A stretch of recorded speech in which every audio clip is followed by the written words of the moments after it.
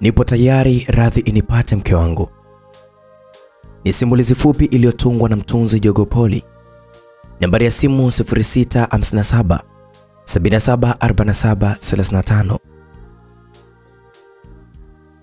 Mimi naitwa Elnaid Fantastic. Ni kutoka hapa Simulizi Mix Entertainment.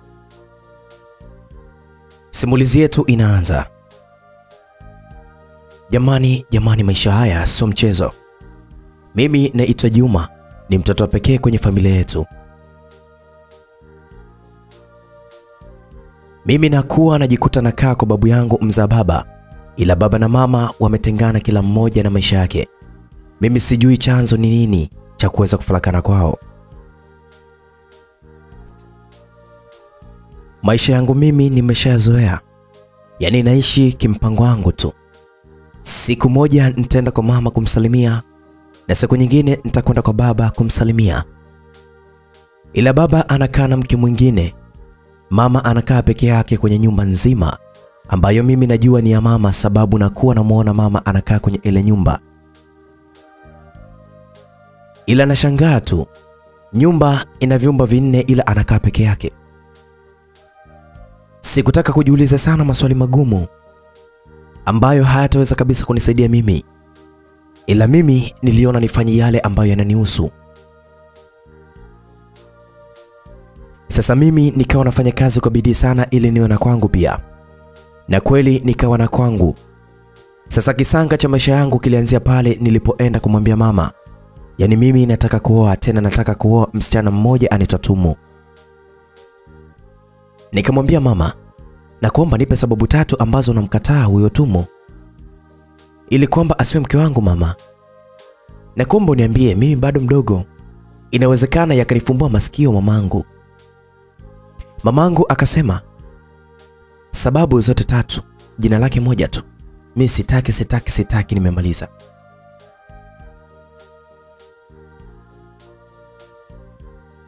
Na kama mama yako sitaki umuoe Tumo, ndio kweli nimeamua sitaki. Basi nilishindwa kumwelewa kabisa msimamo wa mama.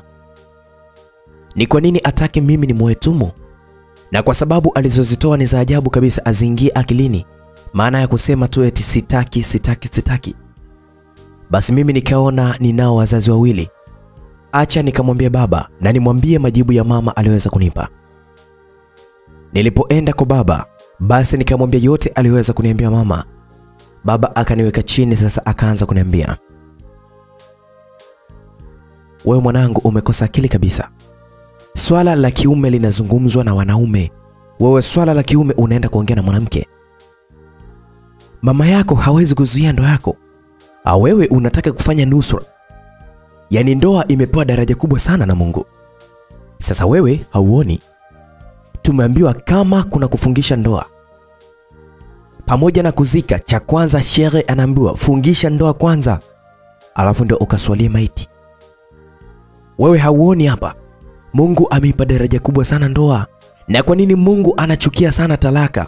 Kwa sababu anapenda waja wake wawe kwenye ndoa, na Mungu ampendi mtu anayedhini. Sasa yeye mama yako ana mawazo yake ya kishetani. Wewe usioe, nakwambia kitu kimoja, wewe utaoa tena mke wa kwanza na kuolea mimi baba yako. Sasa nakwambia kitu kimoja, ujue kabisa mwanaume anaamua, ila baadhi ya wanawake, sio wote, ila baadhi yao wanaamuliwa. Basi nikaona baba ameniacha njia panda kwa maneno yale ya kuamua au kuamuliwa. Nikamuuliza baba, na kwamba undadavulie kidogo hapa kwenye kuamua na kuamuliwa dadi. Baba akaanza kusema, mwanangu, jua kuna kitu kimoja, mwanaume anaweza akawa malaya sana, ila siku moja akaamua kuoa. Najua ataoa na umalaya wake ataacha. Hapa ndio mwanaume anaamua, ila mwanamke akiwa malaya awezi sema sasa nataka kuolewa, halafu akaolewa kwa wakati anaotaka yeye. Nani atataka kumuoa malaya? Kwa hiyo mwanamke awezi akaamua, anaamuliwa ila wale wenye pesa wanaweza kujioa, akamtunuku kijana mjinga wa kufikiria heshima yake ambayo itadhalilika katika jamii.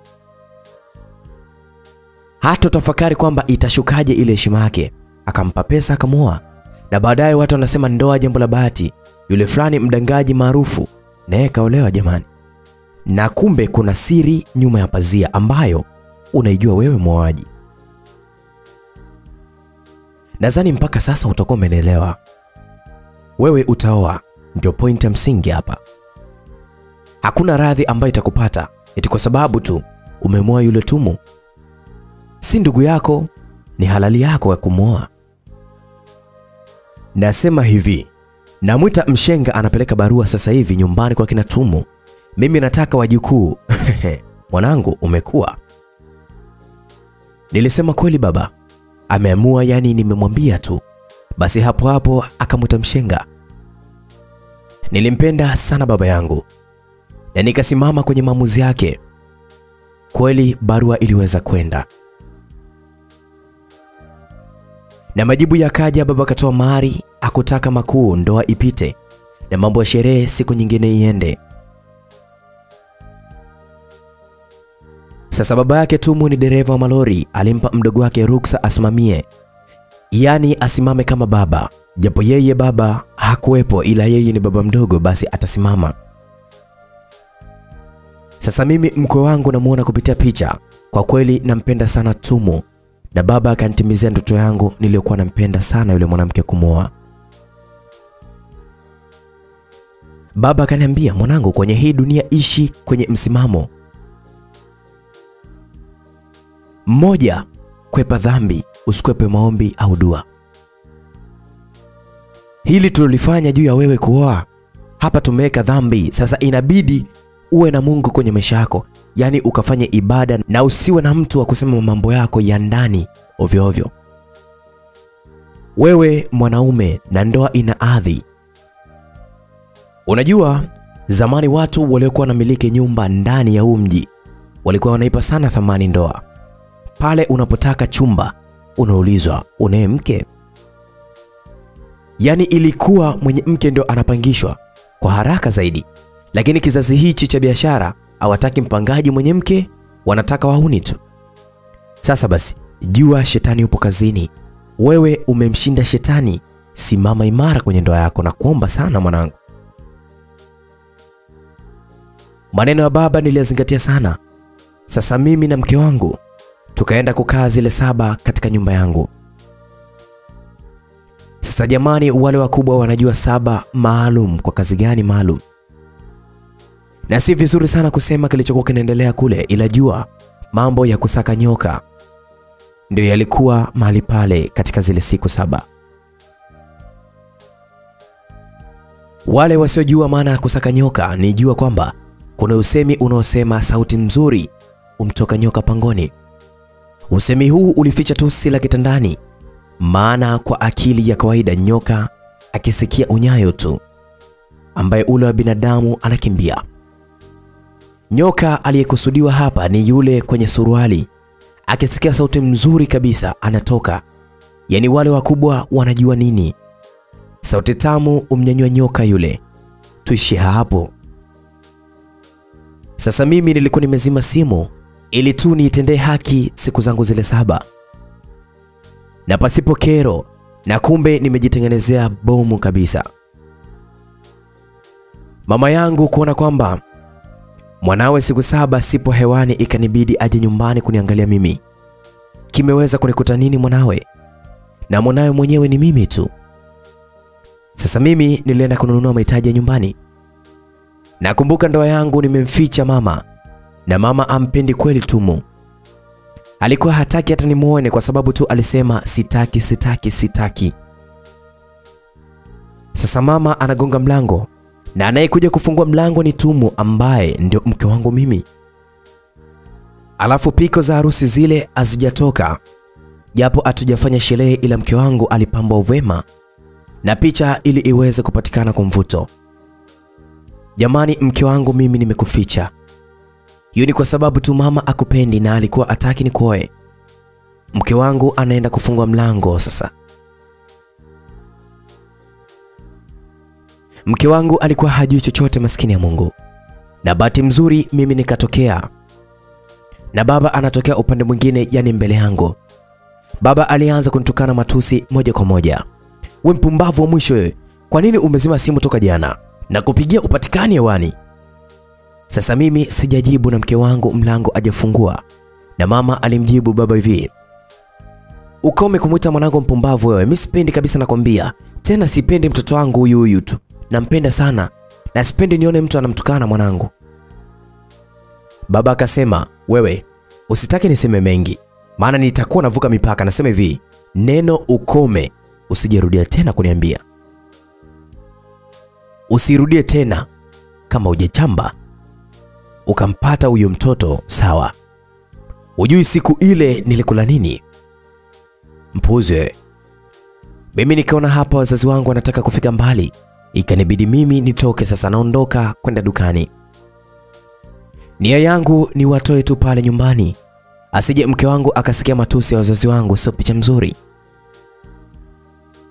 Wakati naenda na wao wananifata huko, wote wananiita kwa upole, Juma, Juma. Nikasema moyoni sitiki mpaka nifike mbali kidogo, na hapa ni nyumbani kwangu. Nilipoona hapa panatosha kuitika, basi nikaitika. Babangu akasema, mwanangu, wewe najua nimekukwaza sana kukutukana, ila jua kwamba sijamaanisha nilichokuwa nakwambia. Huyu mama yako yeye alimaanisha kunituliza mimi. Sasa mimi siwezi kukubali kuambiwa koma. Nikawaambia nyinyi ni wazazi wangu wote, na kwamba mimi ndio niwe nakuja kwa kila mmoja kwake. Kwa muda wangu sitaki mje mtembelee nyumbani kwangu. Nyinyi mkikutana mnagombana tu. Sasa mimi sitaki mtukanane. Mimi nitawafuata katika nyumba zenu tofauti, sawa? Mama akasema, afadhali mwanangu, hapo umenena sasa. Kesho uje nyumbani kwangu jioni, nina mazungumzo na wewe, acha niende zangu.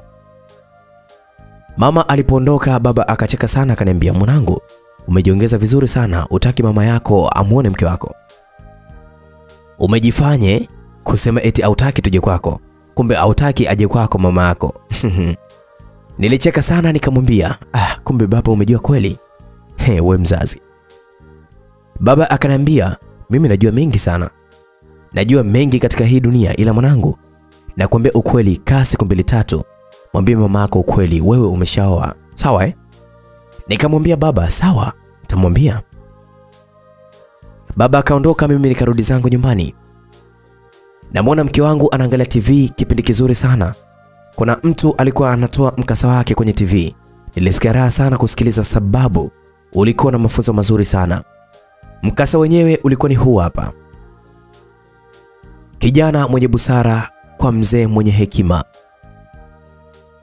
Kijana mmoja mwenye busara alimfuata mzee nyumbani na kuomba ushauri wa ndoa kabla hajaoa, na mzee huyo alimkaribisha na kumpongeza kwa busara jema na kumfuata kabla hajaoa. Alimwambia maneno haya: mwanangu, unatakiwa kuwa bora na kuwa imara kiroho kabisa, kwa sababu wewe ni dereva, ni dereva kabisa mwingine katika familia.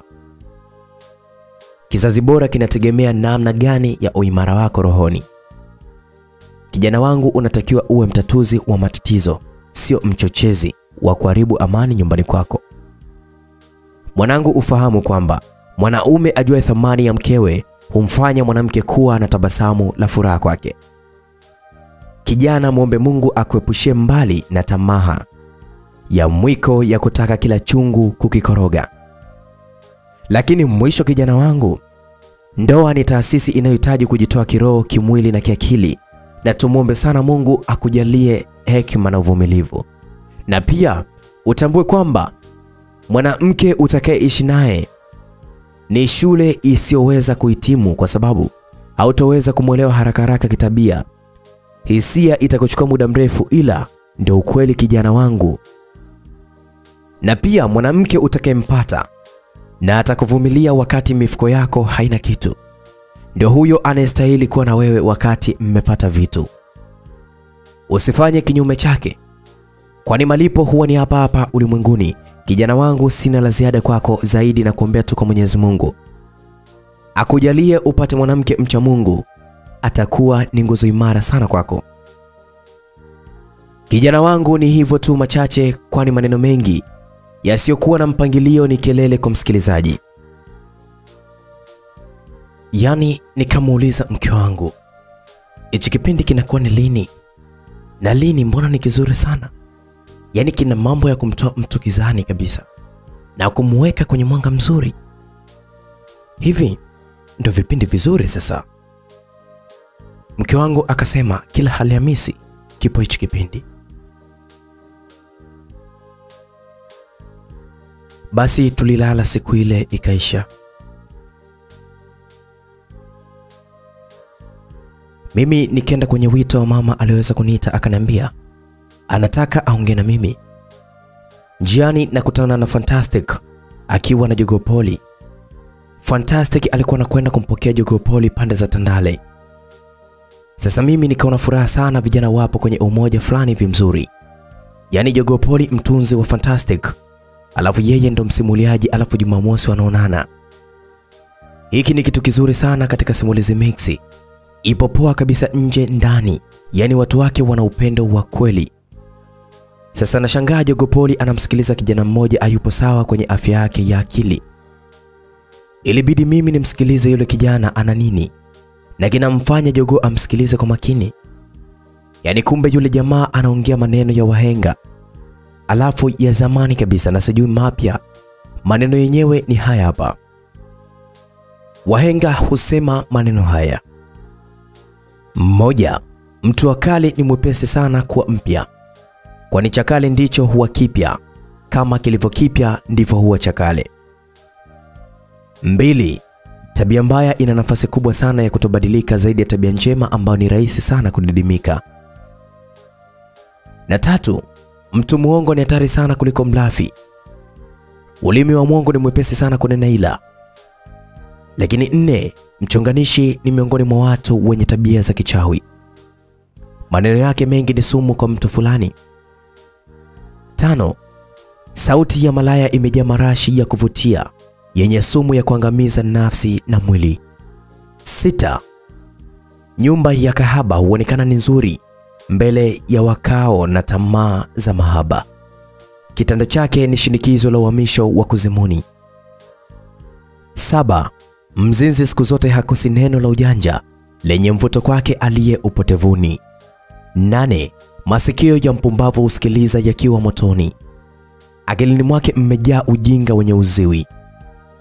Tisa, kijana mpumbavu amejaa huzuni wa moyoni.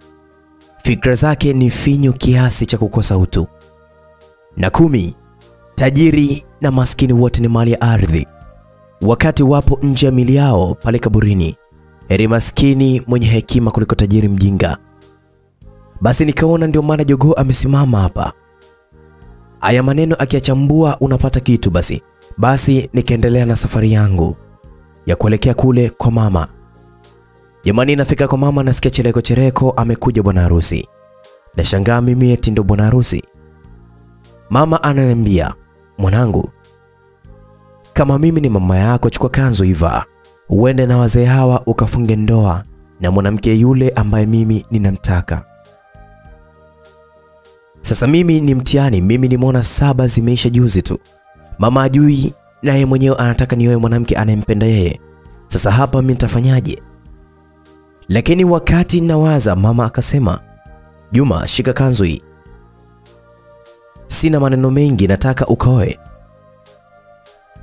Sasa nitajiongeza vipi? Nikamwambia mama hivi, uh, mimi mama, sikubishi, nataka kweli kuoa, lakini sio leo. Nakuomba niende, alafu upange siku nzuri, nije na rafiki zangu washuhudie ndoa yangu, lakini leo mama, mimi utanisamehe kabisa. Mama akuambisha, kanambia nenda kawaambie rafiki zako kabisa, nakupa mwezi mmoja tu uje tufanye sherehe tena bab kubwa. Mwanangu, umenielewa? Mimi nilipoona mama kalainika, sikutaka hata kuremba, nikaondoka zangu moja kwa moja, nikaenda kwa baba, nikaenda kumwambia yote yaliyokuwa yametokea kwa mama.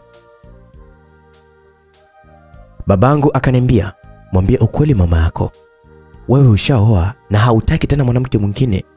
Yule mama yako sio mkeo, useme eti unaanzia wapi?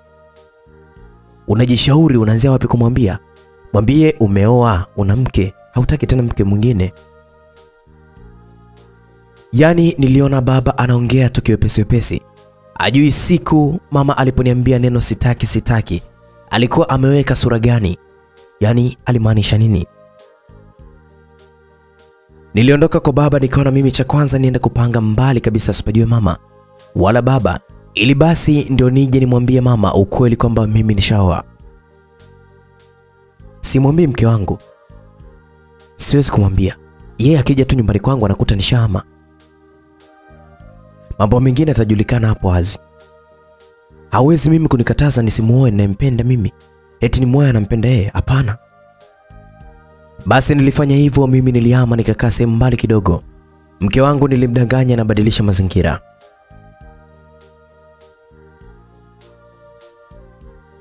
Sasa jamani, ile siku ilikuwa Alhamisi. Kile kipindi cha maneno mazuri kilikuwa kinaanza. Basi niliweka macho yangu kwenye TV naangalia maneno mazito mazuri. Mtu wa somo alisema kwamba kama mwanaume muwazi kwako, acha kuharibu ndoa yako kwa kuwa mbinafsi. Moja ya sababu kubwa ya ndoa nyingi kuvunjika siku hizi ni mali. Watu wengi wakiingia kwenye ndoa, badala ya kuwaza ni namna ya kuishi milele na tena kwa amani, wanawaza kitu cha kufanya kabla wakiachana, namna ya kugawana mali. Hichi kitu hupelekea kila mtu kuharibika kwa kila mmoja na kuangaika kuchuma cha kwake, badala yake ni kufanya pamoja.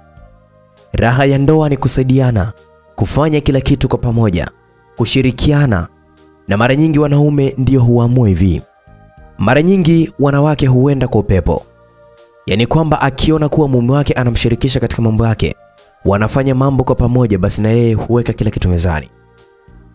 Lakini kuna wanawake binafsi ambao wao ni wa binafsi pia.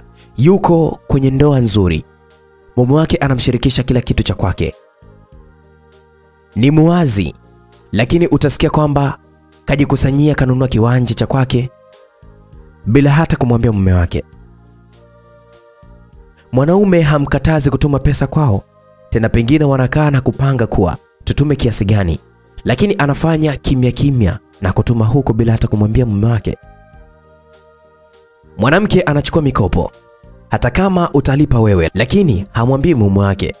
Mambo sasa akishajichachia, basi ndio huyo anaanza kumtafuta mume na kuweza kumwomba msaada kulipa ama kuweka dhamana ya nyumba ama kiwanja.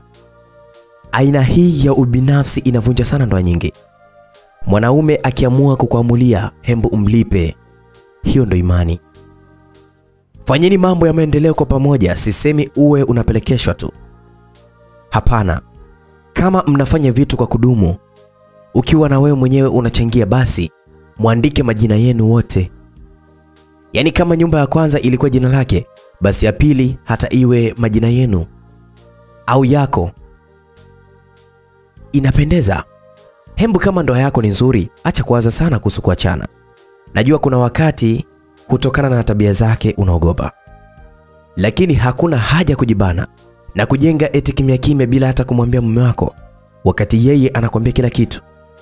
Najua unawaza kama yeye ananificha vingine.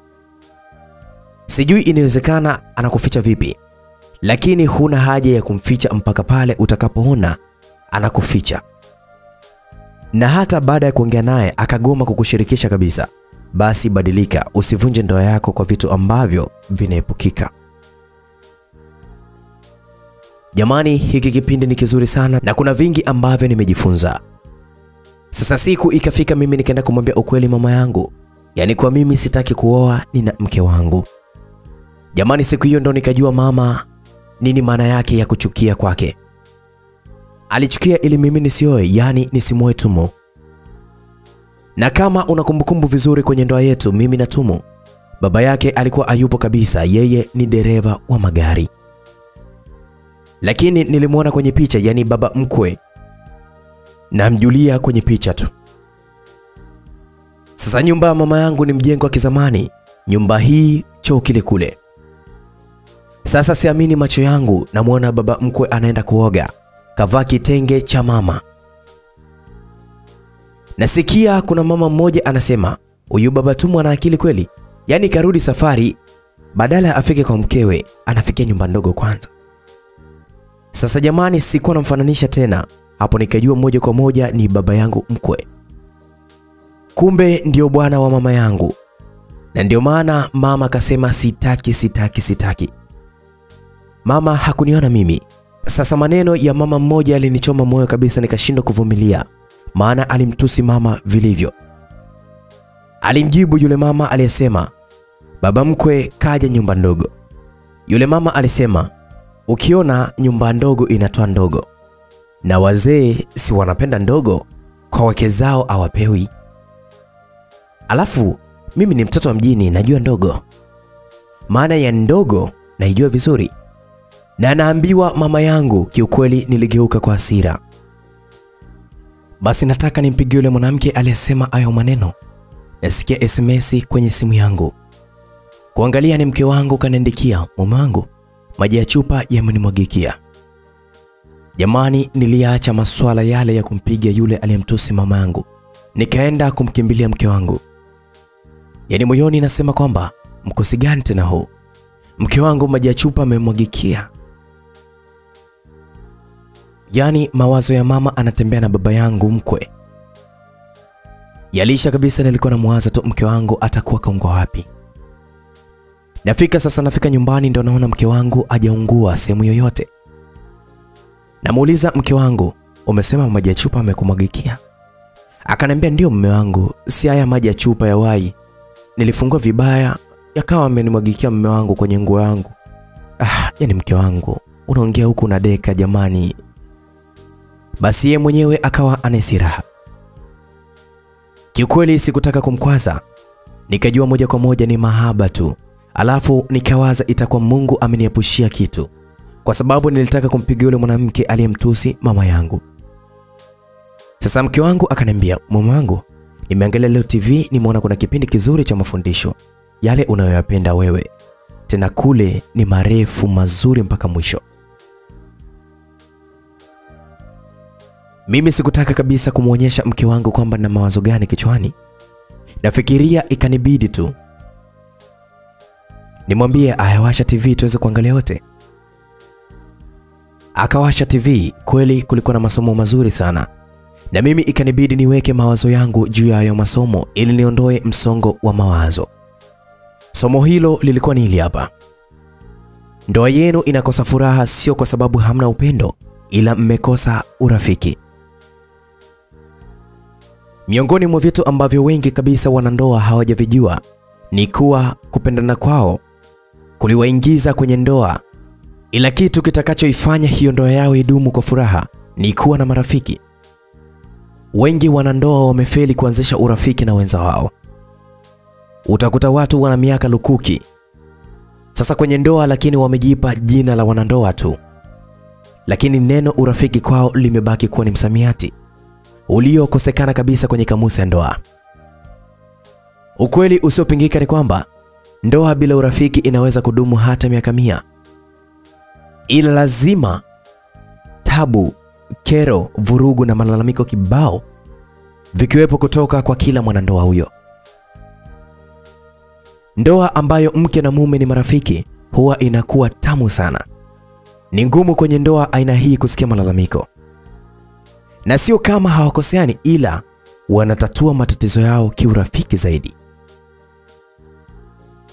Na hakuna maana ya ndoa ambayo inaitenganisha neno urafiki, japokuwa ndoa hujengwa na wote wawili, yaani mke na mume, ila tu uwezo wa kujenga urafiki kwenye ndoa umebakia katika mkono wa mume, na mke hukamilisha tu, ila wengi wanaume wamekuwa na kutu katika hili. Wengi wao wanaume. Wana marafiki wengine nje huko na wanacheka mpaka wanapaliwa na mate, yaani hapo wakiwa nje ya majumba yao, ila unakuta mtu akirudi nyumbani kwake anabadilika sura, inakuwa kama ukuta uliopakwa rangi vibaya au shimo la choo lililojaa nani, utajua mwenyewe. Na huenda wengi katika wanaume hawajui kuwa mke ndo mtu wa kwanza anayestahiki tabasamu lako, na hawa watu wengine huko njiani itabidi uwape la ziada tu. Hawa wengine hata usipochekea watachekewa na wengine, ila mkeo atachekewa na nani sasa? Tatizo, wengi katika wanandoa wanaona ndoa ni kama sehemu ya kufanya tu tendo la ndoa na kuzaa watoto na kulea watoto. Na kama wewe unanisikiliza hapa, basi badili fikra za ndoa. Si hayo tu ambayo unasema kwamba ni kufanya mapenzi na kuzaa na kulea watoto. Ndoa si hayo tu. Kufurahishana na kuchekeshana ndio misingi ya ladha ya tamu ya ndoa. Ukosefu wa urafiki ndio unasababisha watu wanashindwa kujadiliana yale mambo muhimu yanayohusu ndoa. Eti watu hawana muda wa kukaa chini na kujadili kuhusu jinsi gani ya kuimarisha tendo la ndoa yao. Wanaona uhuni, vichekesho hivi. Eti mtu anaona kutaniana na mkewe au mumewe ni utoto. Sasa nani alikwambia kwenye ndoa kuna ukubwa? Wewe jua kwamba ukiwa chumbani na mkeo au mumeo ndio sehemu pekee kabisa kujikumbushia ile michezo ya kitoto kule, mara kidali mpo, mara kuvutana vutana masikio, kupigana pigana mito eh, na mifano kadha wa kadha. Na huo utu uzima wako kaupeleke barabarani huko, pale itabidi uwe kama mtoto. Chumbani ni kuchezeshana na mke wako, ukiwa na mumeo. Ah, ni michezo muhimu jamani. Napenda kuwapa nasaha hii ili mfurahie ndoa zenu. Tuache kuwa wagumu kwenye ndoa zetu bwana. Usimfanye mwenza wako awakumbuke dada na kaka zake nyumbani na marafiki zake mtani Hakuna asiyependa furaha katika ndoa yake, na ukishindwa kumfurahisha mwenza wako usije kulaumu akitokea wa kumfurahisha. Tafakari, badilika sasa, ewe mwanandoa. Urafiki ni muhimu sana katika kujenga ndoa, na kama ukishindwa kutengeneza urafiki na mwenza wako, basi ujue umeshindwa kuijenga ndoa yako. Ndugu yangu, na kwa nini ushindwe? Na kwa masikitiko makubwa kabisa, utamkuta mtu hapendi kabisa kuchati na mwenza wake, zile meseji za kimahaba au kimapenzi na mwenza wake. Akimwanzishia anasema hayo ni mambo ya kihuni. Siku sasa mtu akibahatika kushika simu ndo anakuta meseji nzito nzito za kimahaba ambazo mume au mke anatumiana na mwanamke au mwanaume huko nje. Kinachoshangaza, mtu anaona uhuni kwa mwenza wake, ila nje huko sasa anaona sawa tu. Huu ni upumbavu, na wengi katika wanaume wamekuwa na tabia mbovu kabisa ya kuchata ujinga na wanawake ambao si wake zao, na wachache katika wanawake ni wafuasi wenu katika hili. Na kama una hamu ya kuchati nao, si uchati na mkeo au mumeo? Sasa ulioa au kuolewa ili uweje? Kwa mfano, hembu kaa chini na mmeo au mkeo, muulizane maswali. Tena ulizanene swali hili: Je, sisi ni marafiki au ni wanandoa tu? Huku nje hata ukitukunjia sura sawa tu, ila ukiwa na mkeo au mumeo, cheka na furahi hadi mkojo ukubani. Na mkiwa hivi, mkeo au mumeo hata akisafiri utaona anachelewa kabisa kurudi, kwa sababu ya ile furaha haipo. Sio unakuwa mgumu tu mpaka ukisafiri mwenzako ana swali raka mbili tu. Tuachie tabia hizi jamani. Basi Allah atuhifadhi, amin. Nilisikia raha sana, mawazo yanaanza kama kuhama hivi. Mara namwona kiongozi mwingine anatoa somo, alisema hivi: wasichana wenye tabia hizi zifuatazo huwa wanazalishwa na kuachwa. Tabia ya kwanza, aliyemwacha mwanaume ambaye alimgharamikia na kumpenda sana, ila yeye akamwacha na kumng'ang'ania mwanaume mwingine. Na tabia ya pili, mwanamke mwenye mdomo sana, yaani mwongeaji mno, yaani wazungu wanaita too much. Na tatu, majigambo, anayejiona mzuri kuliko wengine, yaani mwenye majivuno. Lakini wanne, anayependa maisha ya kuiga na kujali kitu kuliko hisia au mapenzi kwa mchumba wake, yaani yeye anataka kuishi kama Zari, wakati mchumba wake huyo hana hata uwezo huo, na yeye mwenyewe hata kazi la maana hana. Tano, mwenye dharau, yaani sometimes anaweza msonya hata mchumba wake au kumbeza eti kisa anatongozwa na mahandsome boy au wenye pesa kuliko mchumba wake. Na sita, mwenye tamaa, yani haridhiki na anachokipewa na mchumba wake. Akimpata mwenye pesa, anamuona mchumba wake yeye ni fala tu na kumwacha. Lakini wa saba, mbinafsi, yani hata akiwa na pesa au kama anafanya kazi, basi hawezi msaidia mchumba wake akiwa kwenye shida, hawezi mnunulia hata zawadi kama ishara ya upendo. Lakini nane, mlevi na mpenda klabu, yaani yeye kuolewa ndo kitu chake cha kipaumbele kuliko mapenzi kwa boyfriend wake. Namba tisa, mbishi au mbishani, yaani hawezi kufanya kitu alichoambiwa na mchumba wake, akifanya on the time, lazima mbishane kwanza, hata kama hakina madhara. Yaani kiufupi, wanaume hatupendi kabisa kubishwa ovyo ovyo. Lakini kumi, mwenye kiburi, yaani ukimwambia ukweli anakuchukia na anakununia kabisa hadi umbembeleze au umpe kitu ambacho alikuwa anataka umfanyie, Ndio atakaa katika mstari. kumi na moja, mgumu kuomba msamaha, yaani hata akikosea kuomba kwake msamaha ni ngumu. Yaani yeye hata akikukosea basi lazima wewe uanze kumwomba msamaha.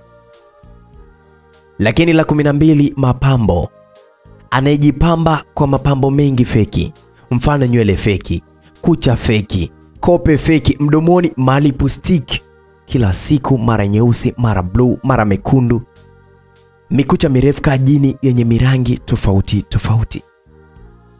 Kiufupi, wanaume tunapenda mwanamke simple. Ambaye hata bila makeup anajiamini, mdomoni apake lip shine tu inatosha, na tena ni chumbani, sio atoke nayo nje.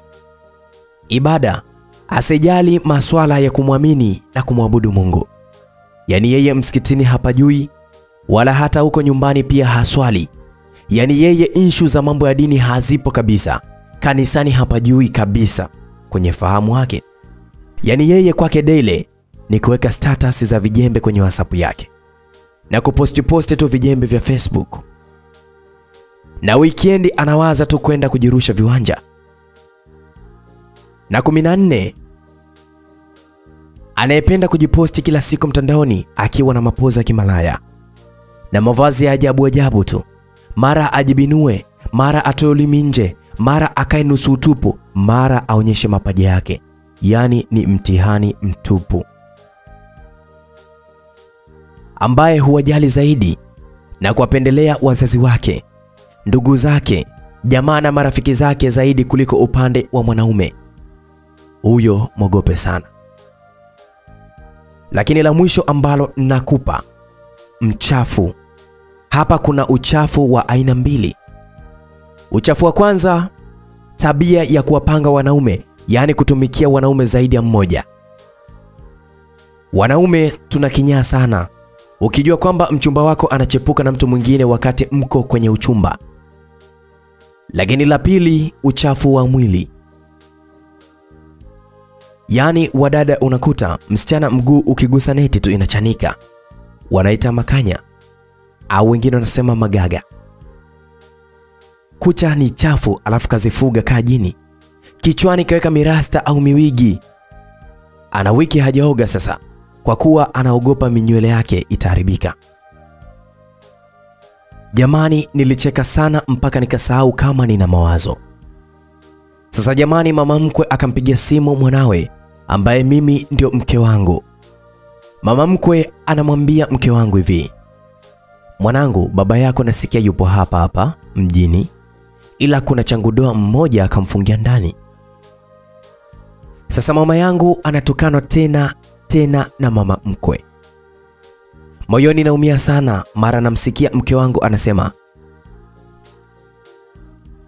atakuwa changudoa mzoefu, haiwezekani usiwe na hofu na mume wa mtu. Mama mkwe akasema poa, acha nifanye kama sijui vile. Huyo changudoa atakuwa ana mambo ya ajabu sana, na mimi ni kuku, hiyo michezo bata mimi nitaiwezea wapi? Jamani, roho inanuma sana. Anayetukanwa hapo ni mama yangu kabisa. Sasa nikasema kwa hasira, mke wangu, Basi mke wangu akakata simu akanikimbilia, abe mume wangu. Moyoni nilijiona kabisa mjinga kumfokea mke wangu kwa sababu ajui kitu na mimi nimemficha kuhusu ndoa. Mama yangu aipendi sana hii ndoa yangu, na yeye alikuwa anamtukana mchepuko wa baba yake kwa sababu ajui kuwa yeye anamtukana ndio mama yake mkwe. Nilimwambia mke wangu kanipe maji ya kunywa. Mke wangu akaenda kunipa maji ya kunywa, akanipa huku kabonyea kwa ufundi zaidi, yaani kiheshima kwelikweli. Ajui kitu mke wangu ananiambia hivi, mume wangu, tabia ya baba ya kuwa na mwanamke nje ya ndoa naomba wewe usiwe nayo, maana maradhi ni mengi sana sasa hivi, alafu sio kitu kizuri kabisa. Naomba unipende kama ninavyokupenda mimi, na kuahidi sitoweza kuchepuka mume wangu, sawa? Nilimwambia mke wangu, uh, mimi nakupenda sana, na hivi vipindi vya TV kiukweli vinanifungua kabisa vitu vingi kichwani mwangu, na pia najielewa na kwamba jua hivyo wewe ni wa kwangu, sawa? Nakupenda sana. Basi tulimaliza maongezi, tulienda kazini. Tulikwenda kuangaika kutafuta tonge, huku nikiwa na mawazo mengi sana, ila nikasema nitaenda kumwambia baba ili swala, alafu nahisi kwake nitapata majibu bora kabisa. Nilipomaliza kazi, nikarudi nyumbani kumwaga mke wangu ili niweze kwenda kwa baba kwenda kumwambia ukweli. Sasa narudi nyumbani namkuta baba mwenye nyumba anampa notes mpangaji mwenzangu, yaani kwa kosa la kugonganisha wanawake. Anasema nyumba yangu mimi sio ya wauni, nachukia sana watu malaya mimi.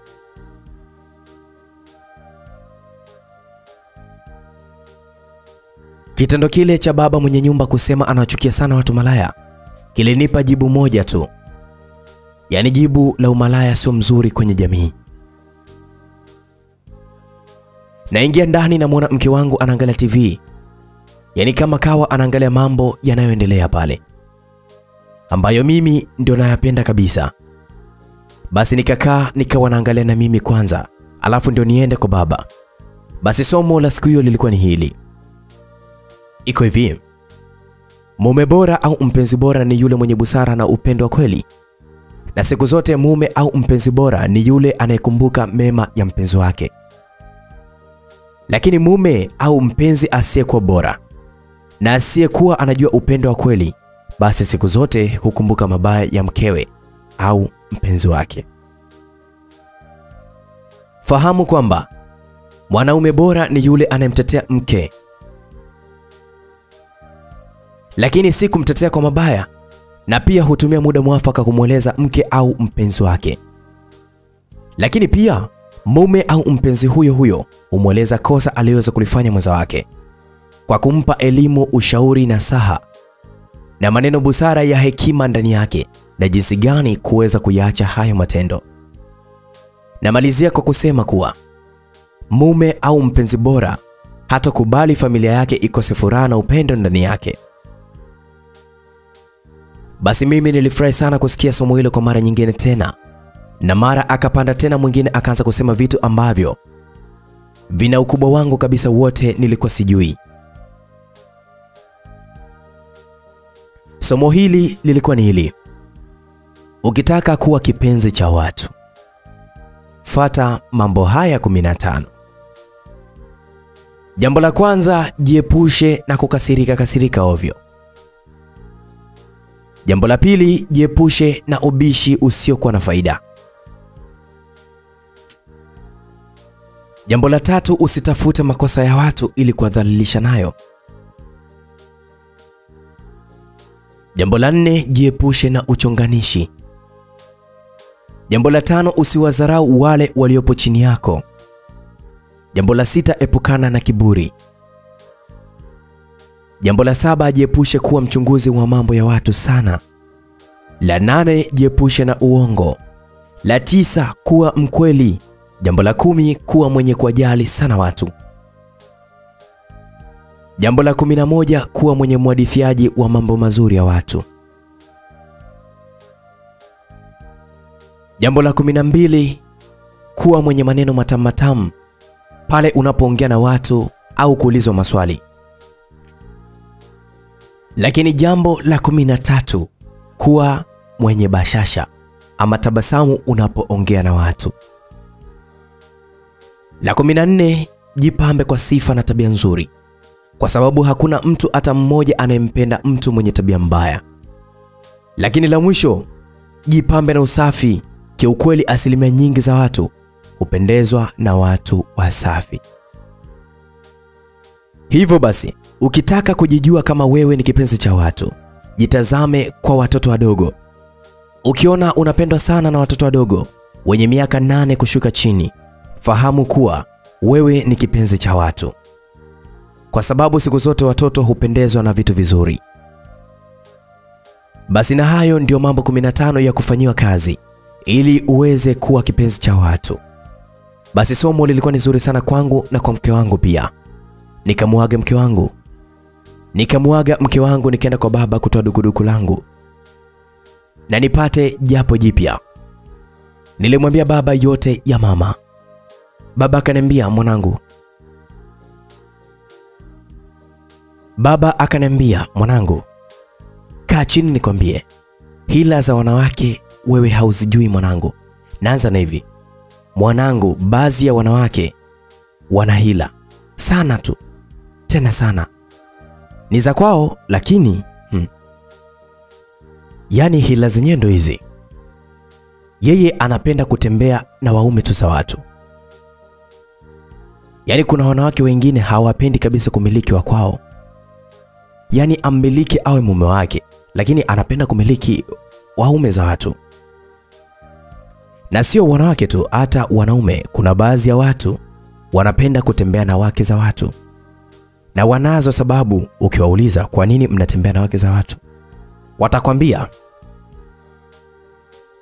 sababu ya kwanza, mke wa mtu akimwambia saa tano anakuja, basi saa tano atafika kweli. Ni tofauti na wanawake wengine wanakuwa waongo. Lakini sababu ya pili, mke wa mtu awezi kusema mimba ni yako. Hii hali hakuna. Akiumwa wewe roho yako juu juu. Ni tofauti na wanawake wengine, mara mimba, mara nitumie pesa akula, sio ni nini. Yaani mwanangu, kaa ukijua kwamba hayo nayakwambia yapo katika jamii yetu. Sasa tega masikio, leo nikwambie ukweli kabisa uliokuwa haujaujua kuhusu mama yako. Mama yako kiukweli ni mwanamke ambaye asiyetaka kumiliki cha kwake. Nasema huku moyo wangu unaniuma kukwambia, lakini leo hii sina budi, acha tu nikwambie swala hili. Ah, mimi nilikuwa na mke ambaye ni mama yako, alikuwa sehemu yangu kabisa nyumba ndogo wakati alipopata ujauzito wako. Mama yako aliniambia kwamba nimjengee nyumba ili wewe uwe na kwako, kwa sababu aliyoiangalia yeye ya kuwa mimi nitakufa na wewe hautakuwa na urithi kwangu. Na kwanza tambua, mama yako alikupenda sana tokea upo tumboni, ila wakati mke wangu amejua kwamba nina ujauzito upo nje na wewe uko tumboni kwa mama yako, mke wangu alikuja juu sana na mimi nilimwacha mke wangu kwa ajili yako. Sasa nikamwambia mama yako nimwoe. Basi hapo ndo nikajua kwamba mama yako ni mtu wa aina gani, hakutaka nimwoe. Nadhani ushapata jibu ya kwamba mama yako ni mtu wa aina gani. Tusichambue sana huko.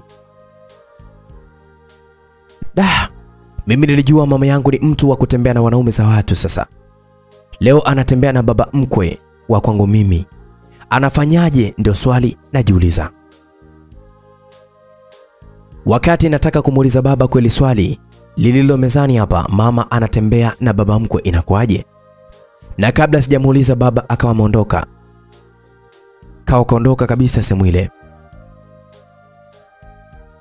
Mimi narudi nyumbani na msongo wa mawazo, mara nasikia naitwa na mama wa kufikia, yani mke mwingine wa baba. Nikasimama, akaniambia hivi, mara nasikia naitwa na mama ambaye yule wa kufikia, yani mke mwingine wa baba. Nikasimama, akaniambia hivi, mwanangu, mimi nimeyasikia sana maneno yako wewe na baba yako aliyokuwa anakwambia pale, ila mimi ni mke tu. Alipokataa mama yako kuolewa, ndio nimeolewa mimi. Sasa nakwambia kitu kimoja, sipingani na baba yako, ila kana usemi ufanyie kazi. Usemi wenyewe ni huu hapa. Usipende kusikia kila maneno ambayo unaweza ukaambiwa juu ya mtu fulani, lakini tamani kujua ni mahali gani ambapo alikwamia kusudi umuinue. Mama yule akaondoka, yani mama yangu wa kambo. Sasa nafikiria ule usemi ulikuwa unamaanisha nini? Niangalie wapi mama alipokwama mpaka anayo tabia hii ya kutembea na wanaume za watu. Nikaona sio vizuri mimi, yaani kuwa sehemu ya kumchunguza mama. Nikasema acha niende nyumbani nikatuliza kichwa changu. Nafika nyumbani, naona mke wangu anasema, mume wangu, nataka nifanye biashara au nikafanye kazi, sitaki kukaa nyumbani mimi tena. Sasa nashangaa huyu mke wangu kipi kimemkuta? Mbona ananiletea mambo meusi hapa? Nikamuuliza, kwa nini mke wangu uwaze kwenda kufanya kazi? Niambie. Mke wangu akachukua simu akabonyeza sehemu ya simulizi mix, ananambia hata hapa kuna stori nzuri kabisa, mafunzo. Kuna waandishi wengi wazuri na wasimuliaji wazuri, na kuna vitu najifunza sana kupitia hapa. Mimi nikaona bado swali langu ajanijibu hiyo simulizi mix, hata mimi mwenyewe naijua, na hao watunzi wazuri na wajua kama Jogopoli na wenzake kina Amani Kigoe, ila tu nikamuuliza, kwa nini unasema unataka kufanya kazi? Akaniambia subiri na kupa jibu, nipo kwenye simu hapa upande wa YouTube, nataka nikuonyeshe kipande kilichopita asubuhi. Na sasa kwa sababu ninaipenda sana simulizi mix, ndio maana nikakuchomekea hapo hapo. Jamani, simulizi mix ni nzuri. Aya, nimepata somo hili hapa, sikiliza, sikiliza mwenyewe, alafu utapata jibu kwa nini mimi nasema nifanye kazi. Kweli nilisikiliza somo lenyewe lilikuwa ni hili: faida za mwanamke kutafuta kipato cha kwake mwenyewe. La kwanza kabisa, inakufanya uwe huru na amani. Manyanyaso mengi na ukatili wa kijinsia unatokana na utegemezi kupitia kiasi, na wapo ambao wanashindwa kuachana au kuongea na kuwashtaki watu ambao wanawanyanyasa kisa tu anajua akiondoka hapo maisha yake yatakuwa ni magumu. Ndio maana kuna usemi unasema, bora kidogo cha kwako chenye amani kuliko cha mtu ambacho haupo huru. Lakini pili, inapunguza vingono ambavyo havina kabisa mpangilio. kiwalisia mwanamke anavyozidi kuhitaji msaada toka kwa mwanaume ndivyo anavyozidi kumvuta mwanaume kingono. Ni wanaume wachache ambao atakusaidia asitake chochote kutoka kwako. Mwanamke, ukishindwa kuitumia akili yako vizuri, basi utatumia mwili wako vizuri. Siku hizi ndio maana kuna watu wameseviwa ATM, kikoba, marejesho na kadhalika bila wao hata kujijua.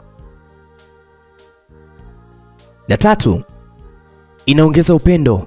Hakuna jambo zuri analolipenda mwanaume kama kuwa na mwanamke mzuri, lakini jambo zuri zaidi pale analolipenda mwanaume ni kuwa na mwanamke mwenye akili, alafu mpambanaji, na pia anajua hata yeye asipokuwepo basi anakuwa ameacha mtu nyumbani. Basi mimi sikutaka kumbishia kwa sababu sitaki malumbano. Mara simu yake inaita, anapokea, anaambiwa mpe simu mumeo niongee naye. Nikapokea simu. Basi kupokea ni mama mkwe ananiambia, nakuomba mara moja nyumbani wewe na mkeo. Basi kweli tulienda mimi na mke wangu kwa mama mkwe. Njiani kwenye gari kuna redio, alafu kuna mtu anasema kisa kizuri chenye mazingatio kwa sisi binadamu. Kisa chenyewe kilikuwa ni hichi hapa. Mtu mmoja alikuwa anatafuta sana kazi na akupata, ingali ana vigezo vyote vya kupata ajira. Siku moja akapata interview katika benki kubwa sana, na baada ya kumaliza interview, mkurugenzi mkuu akamwita kwa maswali machache. akaanza mkurugenzi mazungumzo yale. Una barua yoyote udhamini kutoka kwa wakili au kiongozi yoyote? Kijana akajibu, hapana, ila kuna mwanaume alileta nyaraka za udhamini hapa, na kabla sijafika na amenihakikisha kwamba kuna lazima nitapata kazi hii kwa namna yoyote ile. Mkurugenzi akasema, huyo mtu ana cheo gani? Kijana akasema, cheo chake hata mimi mwenyewe nashindwa kabisa kumwelewa, maana ana vyeo vingi kuliko hata mtu yoyote yule duniani. Mkurugenzi akasema, kijana, nyoosha maelezo, usipoteze muda. Je, ni waziri, mbunge, mkuu wa majeshi ama nani? Kijana akazungumza, hivyo vyeo bado ni vidogo sana kwake mkuu. Mkurugenzi, okay, ni nani kumbe? Kijana, um, ni Mungu tu ambaye ni mkuu kuliko vyote duniani, ndiye aliyenidhamini mimi. Mkurugenzi, embo ondoka hapa, naona kazi hautaki kabisa. Kijana, asante mkurugenzi, ubarikiwe kwa kuchukua muda wako wa kunioji. Mkurugenzi alikaa kimya na hakusema kitu. Kijana akarudi nyumbani, ila kule ofisini mkurugenzi aliitupa barua kijana yule kwenye dustbini na asitake kabisa hata kuiona. Siku zikapita huku kijana akizidi kumsihi Mungu amtimizie ahadi yake, na kadri siku zilivyokuwa zinazidi kwenda, mkurugenzi alikosa raha moyoni, mpaka sura yake ilionyesha kabisa hayuko sawa, na kila alichokuwa na kigusa alikosea, mpaka kuna baadhi ya kazi aliharibu. Picha ya majibu na utulivu kwa yule kijana zilikuwa zinamzonga kabisa kichwani kwake kila wakati, na hadi akaamua kuidhinisha kuwa kijana amepata kazi na aje aanze kazi haraka sana. Toka kipindi hicho ile hali haikumtokea tena. Na kama unaamini kuwa Mungu ndiye kila kitu katika maisha yako na ndiye atakaye kufanya ufanikiwe kabla ya mwaka huu haujaisha, sema amina. Gari zima tulisema amina, kumbe maneno mazuri yenye tija nzuri kabisa. Sio magari mengine utasikia nyimbo tu mwanzo mwisho. Sio mbaya sana, ila na mawaidha wekeni kidogo. Basi tulifika kwa mama mkwe. Jamani, kilichotokea kwa mama mkwe anatuambia sisi, wanangu, mimi nimewaita hapa, baba yenu kanitupa hapa, yaani anitake tikisa, kuna mwanamke yupo naye sasa mimi naenda kwa mganga kumua huyo mwanamke.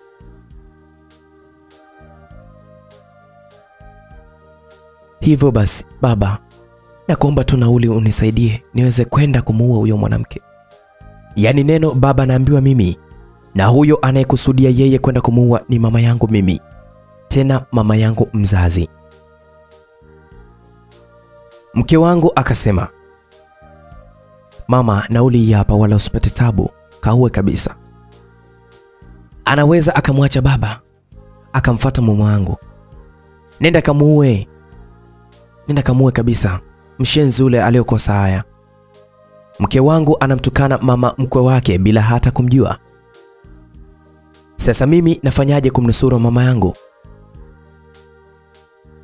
Ikanibidi nimwambie mama mkwe acha hasira ambazo ndani yake kuna ushetani na swala la kusema kwamba kuwa ni swala ambalo linamchukiza sana Mungu, na kuomba mama mkwe uwe na subira, aya yatakwisha tu. Mama mkwe akasema, mimi najua kuwa ni dhambi, lakini dhambi siku ya mwisho, lakini kwa sasa acha mimi nikaue. Nimechukia kabisa sana, acha mimi nikamuue. Ikanibidi tena nianze kutetea kitendo kile ambacho mama mkwe alikuwa anakitaka kukifanya. Yaani kumbe mimi nilikuwa namtetea sana mama yangu mzazi asiweze kuuawa. Nikamwambia mama mkwe, na kuomba uende kwa wazee, wamwite, wamwonyeshe si vizuri kitendo ambacho wewe unakifanya. Wakati nataka kuendelea kusisitiza swala hilo ili lisiweze kuendelea, ndipo mchungaji aliingia pale ndani. Alikuwa anasikia swala la mauaji lililokuwa linataka lifanywe na mama. Basi mchungaji alidhamiria kabisa kutoa neno, ila na mimi nilifurahi sana kumwona mchungaji. Basi alitusalimia na kuanza kusema, sikilizeni neno hili. Kwa nini Yesu alikufa msalabani? Sababu kuu mbili ni kwamba moja, kulipa dhambi ya mwanadamu wa kwanza aliyeifanya pale mtini. Tukumbuke mwanadamu alishawishiwa na nyoka kwa maneno mazuri kabisa pale bustani. Alijikuta yupo uchi, yani aibu ya kumkosea Mungu. Hivyo hata Yesu ilimpasa afe kifo cha aibu na chenye maumivu makali, ili tu kumwokoa mwanadamu asianguke katika laana ya Mungu. Ukisoma wa Filipi mbili mstari wa nane. Lakini jambo la pili, ilikuwa ni desturi ya zamani watu waovu hasa wanyang'anyi kuuawa na kutundikwa msalabani. Tunaambiwa kutokana na dola ya Kirumi iliyotawala kipindi hicho, yaani Myahudi aliyefanya kosa lolote kubwa, basi msalaba ulikuwa unatumika kama chombo cha adhabu ya kwake ya kuweza kumdhalilishia. Hivyo basi Yesu kwa kuwa ni Myahudi alitundikwa pale msalabani kwa mashtaka ya kuwa yeye ni mfalme wa Wayahudi. Lakini pia hata katika mtume Petro alitundikwa msalabani kwa kuwa alikuwa ni Myahudi, ingawa alitundikwa kichwa chini miguu juu, kwa sababu aliomba mwenyewe afe kifo hicho ili tu kujitofautisha na Yesu aliye Bwana wake. Mtume Paulo yeye hakuwa Myahudi, ndio maana alikatwa kichwa. Lakini pia wanaoteleojia wanadai kuwa Yesu alikufa mikono miwili ikiwa imeachana. Na kichwa chake kuinama kidogo upande wa kulia. Wanasema kwamba Yesu alikufa hivyo kama ishara ya kwanza, A, mikono yote miwili kuwa wazi ina maana. Njoni wote wenye dhambi msogope, mimi nilikufa kwa ajili yenu, na mkija nitawakumbatia. B, kichwa kuinama kidogo upande wa kulia ina maana endapo mtakuja, sitawakumbatia tu na kuweza kuacha, bali nitawabusu kwa upendo wa agape, kwa kuwa niliwapenda kupita upeo. Mchungaji alipomaliza kutoa somo lile akamuuliza mama mkwe, je, wewe unataka kumuua huyo unayemkusudia kifo chake? Kitasaidia nini duniani? Mama mkwe akasema, basi mtumishi wa Mungu, sitafanya tena hicho kitendo. Moyoni nikasema, asante mchungaji, umemsaidia mama yangu. Na ndio uzuri wa kuwa na watu wa Mungu kwenye hii dunia. Umetoa somo moja tu dogo, hasira za mama mkwe zimekwisha. Maneno hayo nayasema moyoni tu peke yangu. Mchungaji akaondoka, mimi na mke wangu tukaondoka. Tulipofika nyumbani tukawasha TV, ndio nilimwona shehe anatoa somo. Hata mimi nilikuwa sijui kabisa kama kuna dua la kumwingilia mkeo, yaani kufanya tendo la ndoa. Basi ndo nikajua siku hiyo, na somo lenyewe lilikuwa ni hili: enyi akina mama, acheni hii tabia ya kuwafunga watoto wenu hirizi. Hakika hii ni shirki, Allah amekataza kabisa. Haisaidii lolote isipokuwa utamzidishia mtoto shida ambazo hukuzitarajia. Mtegemee Allah, na hakika Allah ndiye muweza wa kila jambo.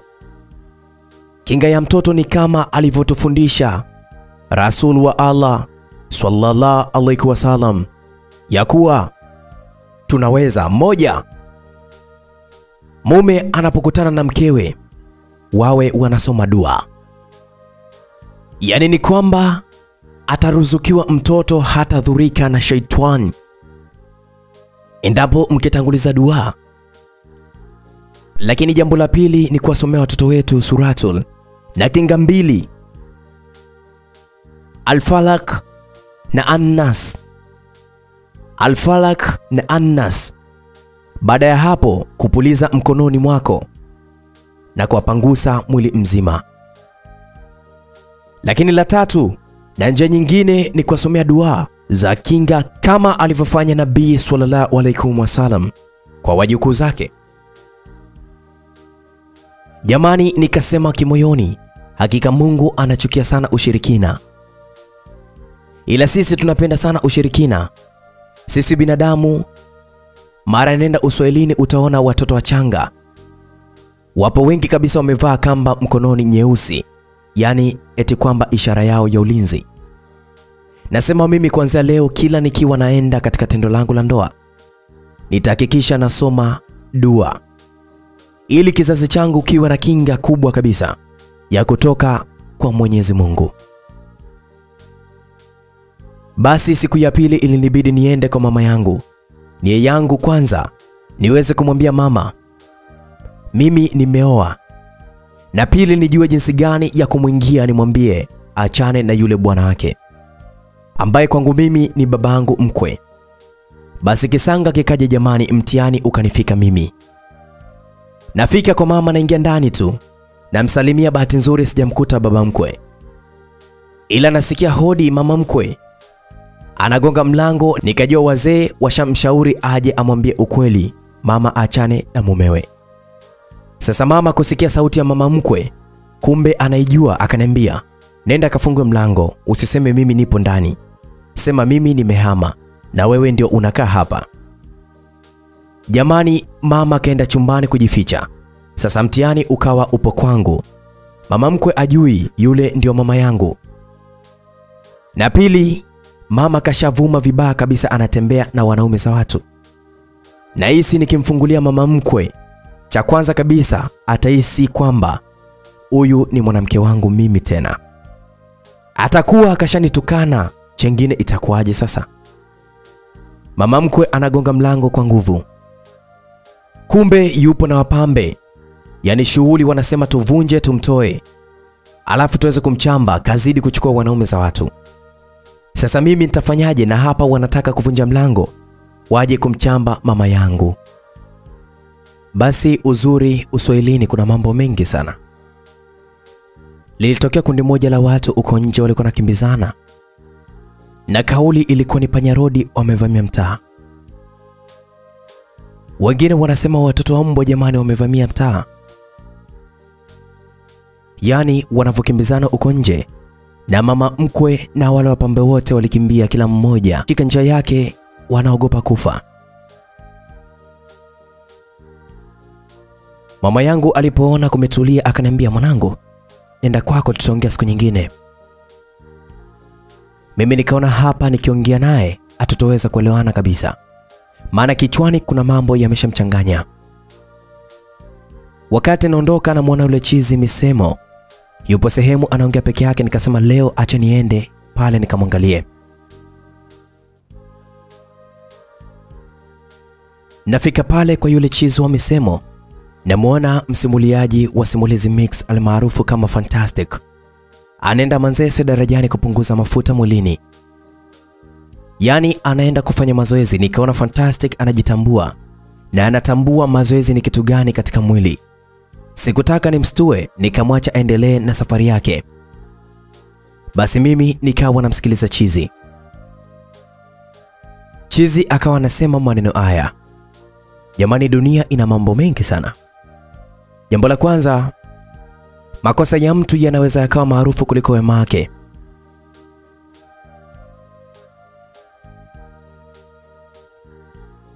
La pili, kuna muda kile unachokisi moyoni ni ngumu kumweleza mtu akakielewa. Tatu, ogopa sana kufanana na watu wenye ulka ya mkaa, maana hata wasipokuunguza basi watakuchafua. Na nne, na kama unafanya maamuzi kwa kuangalia watu watasemaje ama watu watakuchukuliaje, pole sana, maana unafanya maamuzi yapo nje ya akili yako. Tano, ni kuwa na furaha kwenye maisha bila sababu yoyote, maana hiyo sababu itakayokufanya uwe na furaha inaweza ikachukuliwa muda wowote. Lakini sita, kama unapata hisia za kupenda watu wawili, basi na kushauri mpende yule wa pili, kwa maana ungekuwa unampenda yule wa kwanza usingekuwa na hisia na wa pili. Uaminifu ni sawa na mpira unaovutwa na watu wawili. Kadiri mnavyovuta basi ndio maisha yanazidi kusonga ili kila mmoja wenu akiachia mpira huo lazima mwingine ampate maumivu. Na la mwisho, jifunze kutofautisha yupi anahitaji maelezo, yupi anahitaji jibu fupi, yupi anahitaji uwe kimya kabisa. Sasa mimi nikawa namsikiliza maneno yake, yana maana kweli, japo ayachambui moja kwa moja. Sasa wakaja wahuni wakamtimua yule chizi. Nikajua awa wauni hawajajua kukaa na kumsikiliza yule chizi, na tena hawajampa masikio yao akiwa anaongea peke yake. Anaongea kitu gani? Wasingeliweza kumtimua, bali wangejifunza kupitia maneno yake, maana ni mazuri kuliko wao wakikaa wanasifia tu mademu. Na tena mabishano ya nani msanii mwenye pesa Tanzania kuliko wote, mabishano yasiyokuwa na tija katika maisha yao. Basi mimi nilimfuata chizi nikamsalimie, japo ni mzoee tu, naweza kupata jibu linaloniumiza. Namsogelea, namsikia anaongea hivi: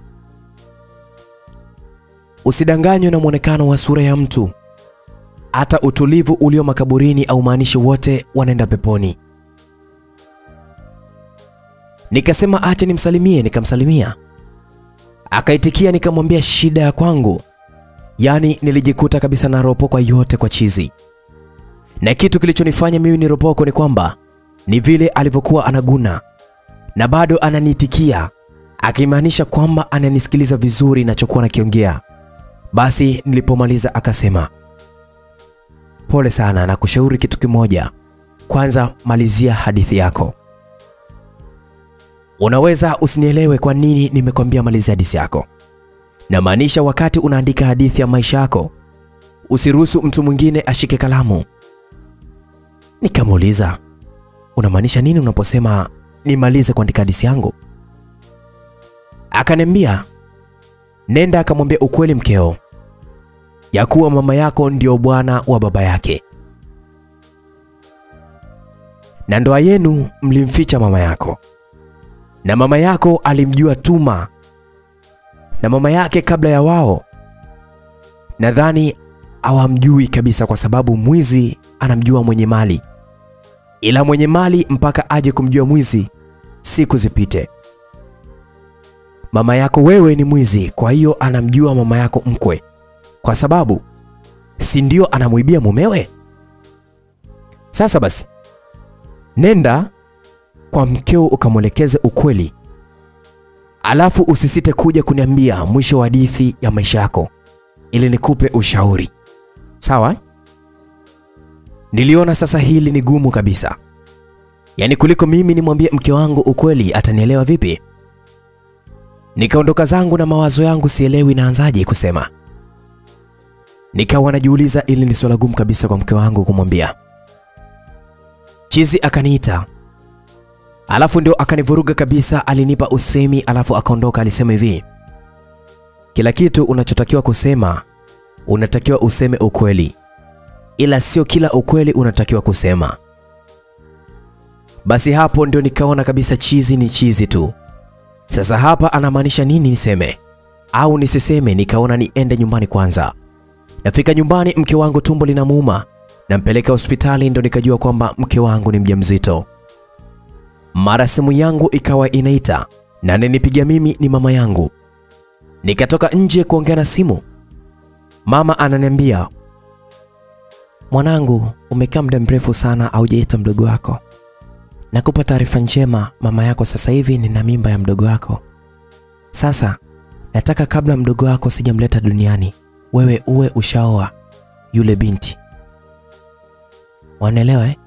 Sasa hivi nipo sehemu na baba yako, sio yule babako mzazi, achana naye huyo. Nipo na babako mwingine kabisa. Kuna siku utamwona, ila nimekurushia kwenye simu yako picha yake, utamwona tu. Mara simu yake ikakata. Mimi nawasha data, naona kweli mama amenirushia picha ya baba, ni picha ya baba yangu mkwe kabisa.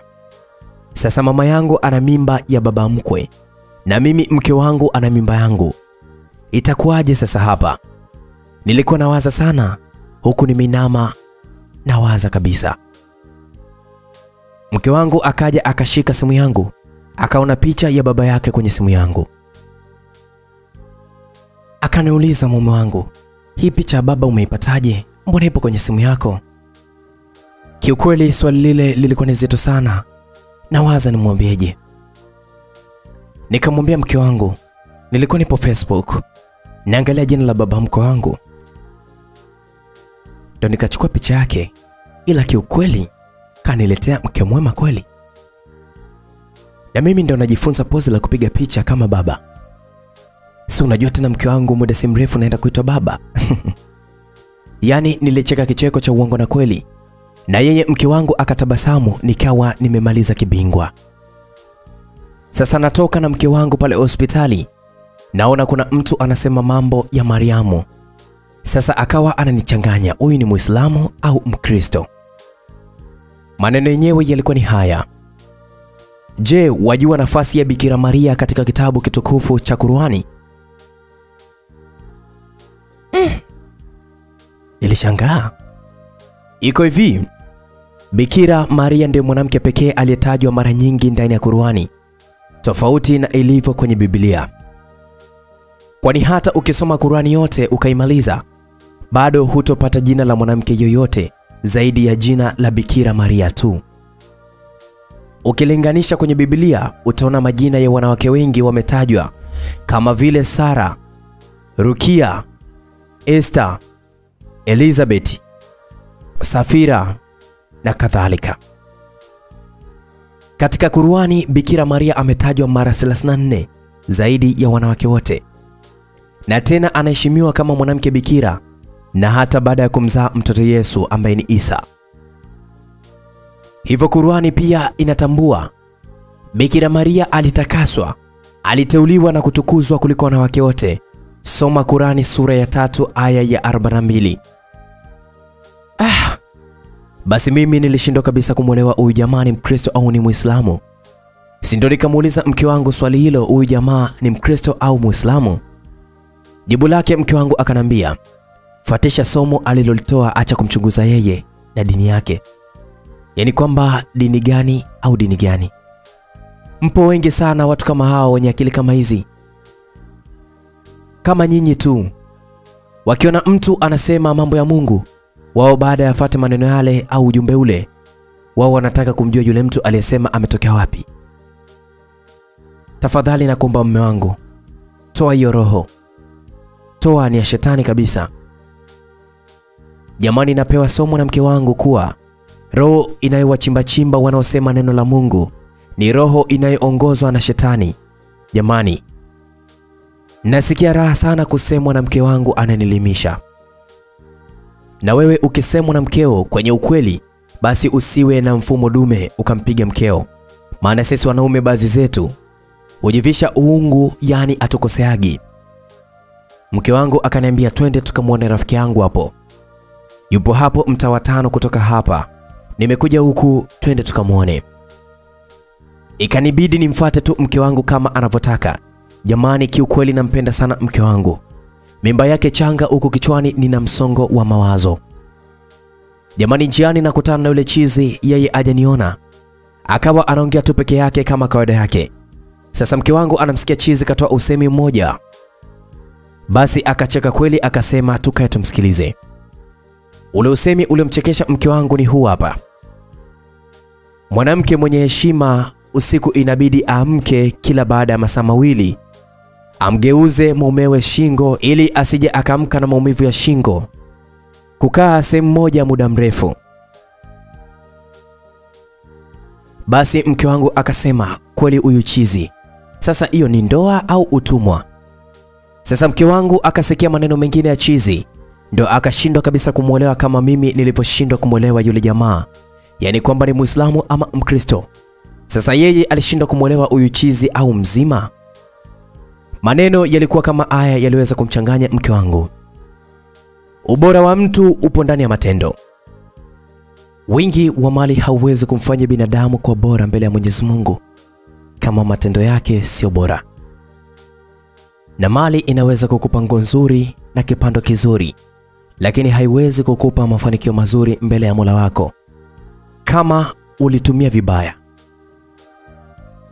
Umaarufu na cheo ulichonacho hakiwezi kumwofisha malaika kutoa roho yako siku itakapotimu.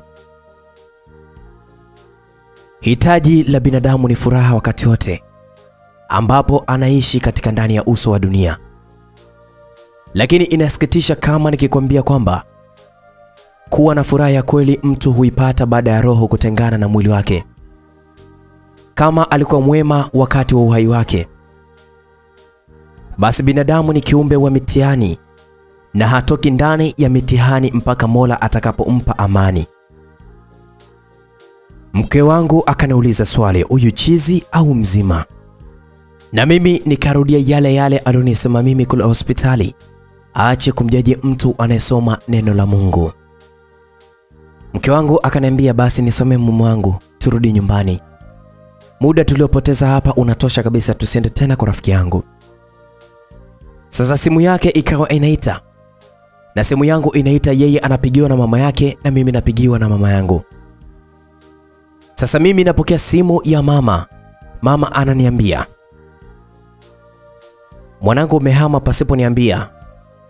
Nashukuru sana, mimi nimekuja na baba yako kwenye nyumba yako, kumbe wewe umehama. Kwa nini hujaniambia? Nikajiongeza mimi nikamwambia mama, ah, mama, unakumbuka ile siku uliokimbilia chumbani hatukuongea? Ndio ile siku ambayo mimi nilikuwa na hama na nilikuwa nakuja kukuaga, ndio basi aliweza kutokea yale, nikashindwa kukuaga. Mama aliingia mazima kwenye uongo wangu, naye mwenyewe akasema, mwanangu, kupita timbuli lile, basi na mimi leo nimehama, nimehamia. Simu ya mama ikakatika. Sasa sijui alipokuwa anamaanisha ni wapi, sijui simu imesha chaji, mimi sielewi. Basi mke wangu na yeye kamaliza kuongea na simu, akiwa anazungumza na mama yake, tukawa tunaondoka. Sasa jamani, kumbe mamangu kaamia nyumba ambayo ninaishi mimi, chumba kile cha mpangaji aliyepewa notisi na mwenye nyumba, sababu kile chumba kilikuwa kina sebule, choo na sehemu ya chakula, yaani kimekamilika kama chumba changu mimi. Sasa nafika ndio namuona baba mwenye nyumba anamwelekeza mama, anaanza kuwatambulisha watu waliokuwa katika ile nyumba. Anamwambia chumba hichi anakaa Juma na mkewe ambaye sasa hivi Naisi ni mjamzito. Yaani yule mzee ni kama mchawi, anasema ujauzito wa mke wangu, ila nikajua kwamba yule ni mkubwa kanizidi mbali kabisa. Anajua mwanamke mwenye mimba mapema anakuwaje. Akaendelea kusema, sasa na wewe unayo mimba, kwa hiyo mtakuwa mnaombana udongo. Mama naye akacheka. Mm, mzee unachekesha wewe kwa utani wako.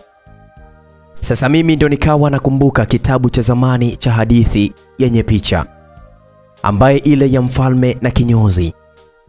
Tafsiri yake dunia aina siri, mfalme kaonekana na pembe. Ndio leo sasa mimi naumbuka mchana mchana kweupe kabisa, mara nasikia mama ananiita Juma. Kweli mama amsau mwanawe hata kidogo. Mimi nimemgozia mama mgongo asiweze kunijua kabisa natunga sheria nafanyaje. Mama ndio kwanza akashaniita tayari. Namsikia baba mwenye nyumba anamuuliza mama, huyu Juma ni mwanao? Mama anasema ndiyo, ni mwanangu, tena mimi nina mtoto huyu huyu tu na mwingine huyu hapa aliyoko tumboni. Baba mwenye nyumba jamani, akapasua jipu akalimenyua kabisa pwa hilo, akasema Ah, we Tuma, mbona haumchangamkii mama yako mko bwana? Sasa hapo ndio moto ulipoweza kuanza kuwaka. Mama anamjua Tuma ila Tuma amjui mama. Ukikumbuka maneno ya yule chizi, yaani ni kuwa mwizi anamjua mwenye mali. Sasa ndio ule usemi leo unatimia. Mama aliniambia, mwanangu, umeoa? Sikutaka kabisa kumficha tena.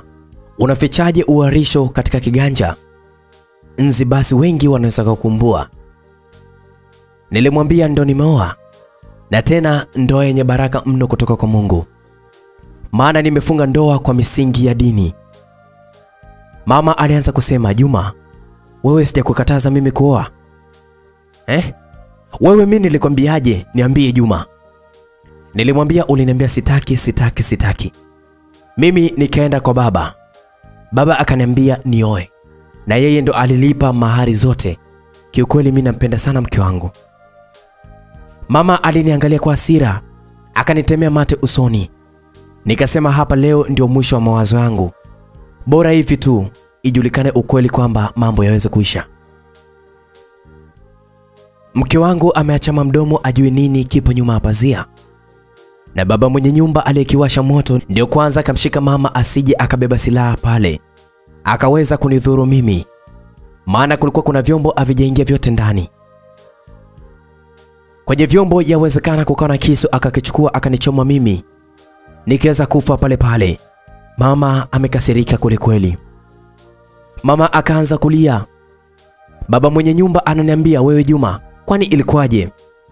Ilinibidi niongee ukweli wote ili ajue kama mimi kuna sehemu nimekosea, basi aninyooshe.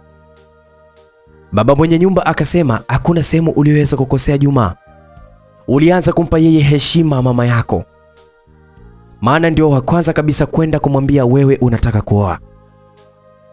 Yeye akakwambia neno sitaki, sitaki, sitaki bila hata kufafanua hii sitaki ina maana gani.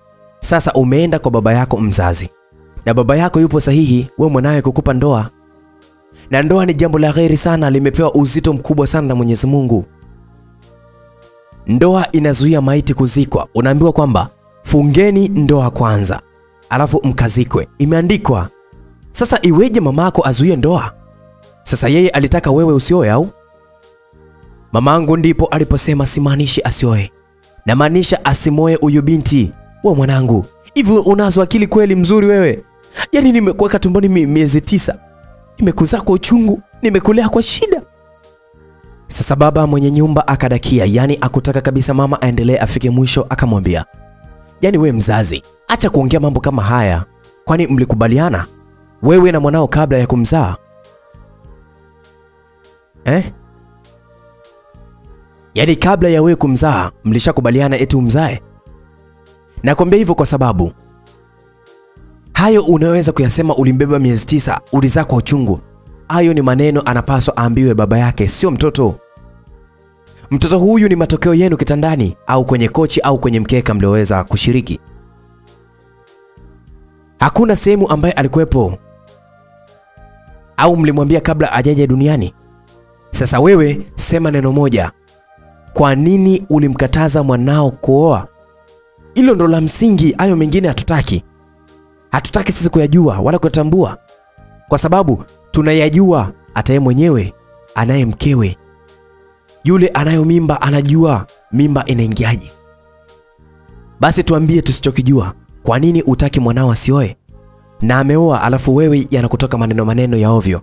Hem, tuambie sababu nini? Jamani, mimi mwanzo nilimwona baba mwenye nyumba kama ana matusi tu, tena akiwa anamtusi mama, ila kumbe alikuwa anazunguka vizuri, anatengeneza vizuri swali lake. Sasa mama akapigwa bonge moja la swali, ikabidi aanze kujitafuta aweze kulijibu. Basi jamani, uswelini hakuna dogo, watu si wakajaa. Mama akasema neno moja tu ambalo akasisitiza aongezi neno na neno lenyewe alisema hili hapa: kama mimi ni mama yako nilokuzaa, nasema achana na huyu mwanamke.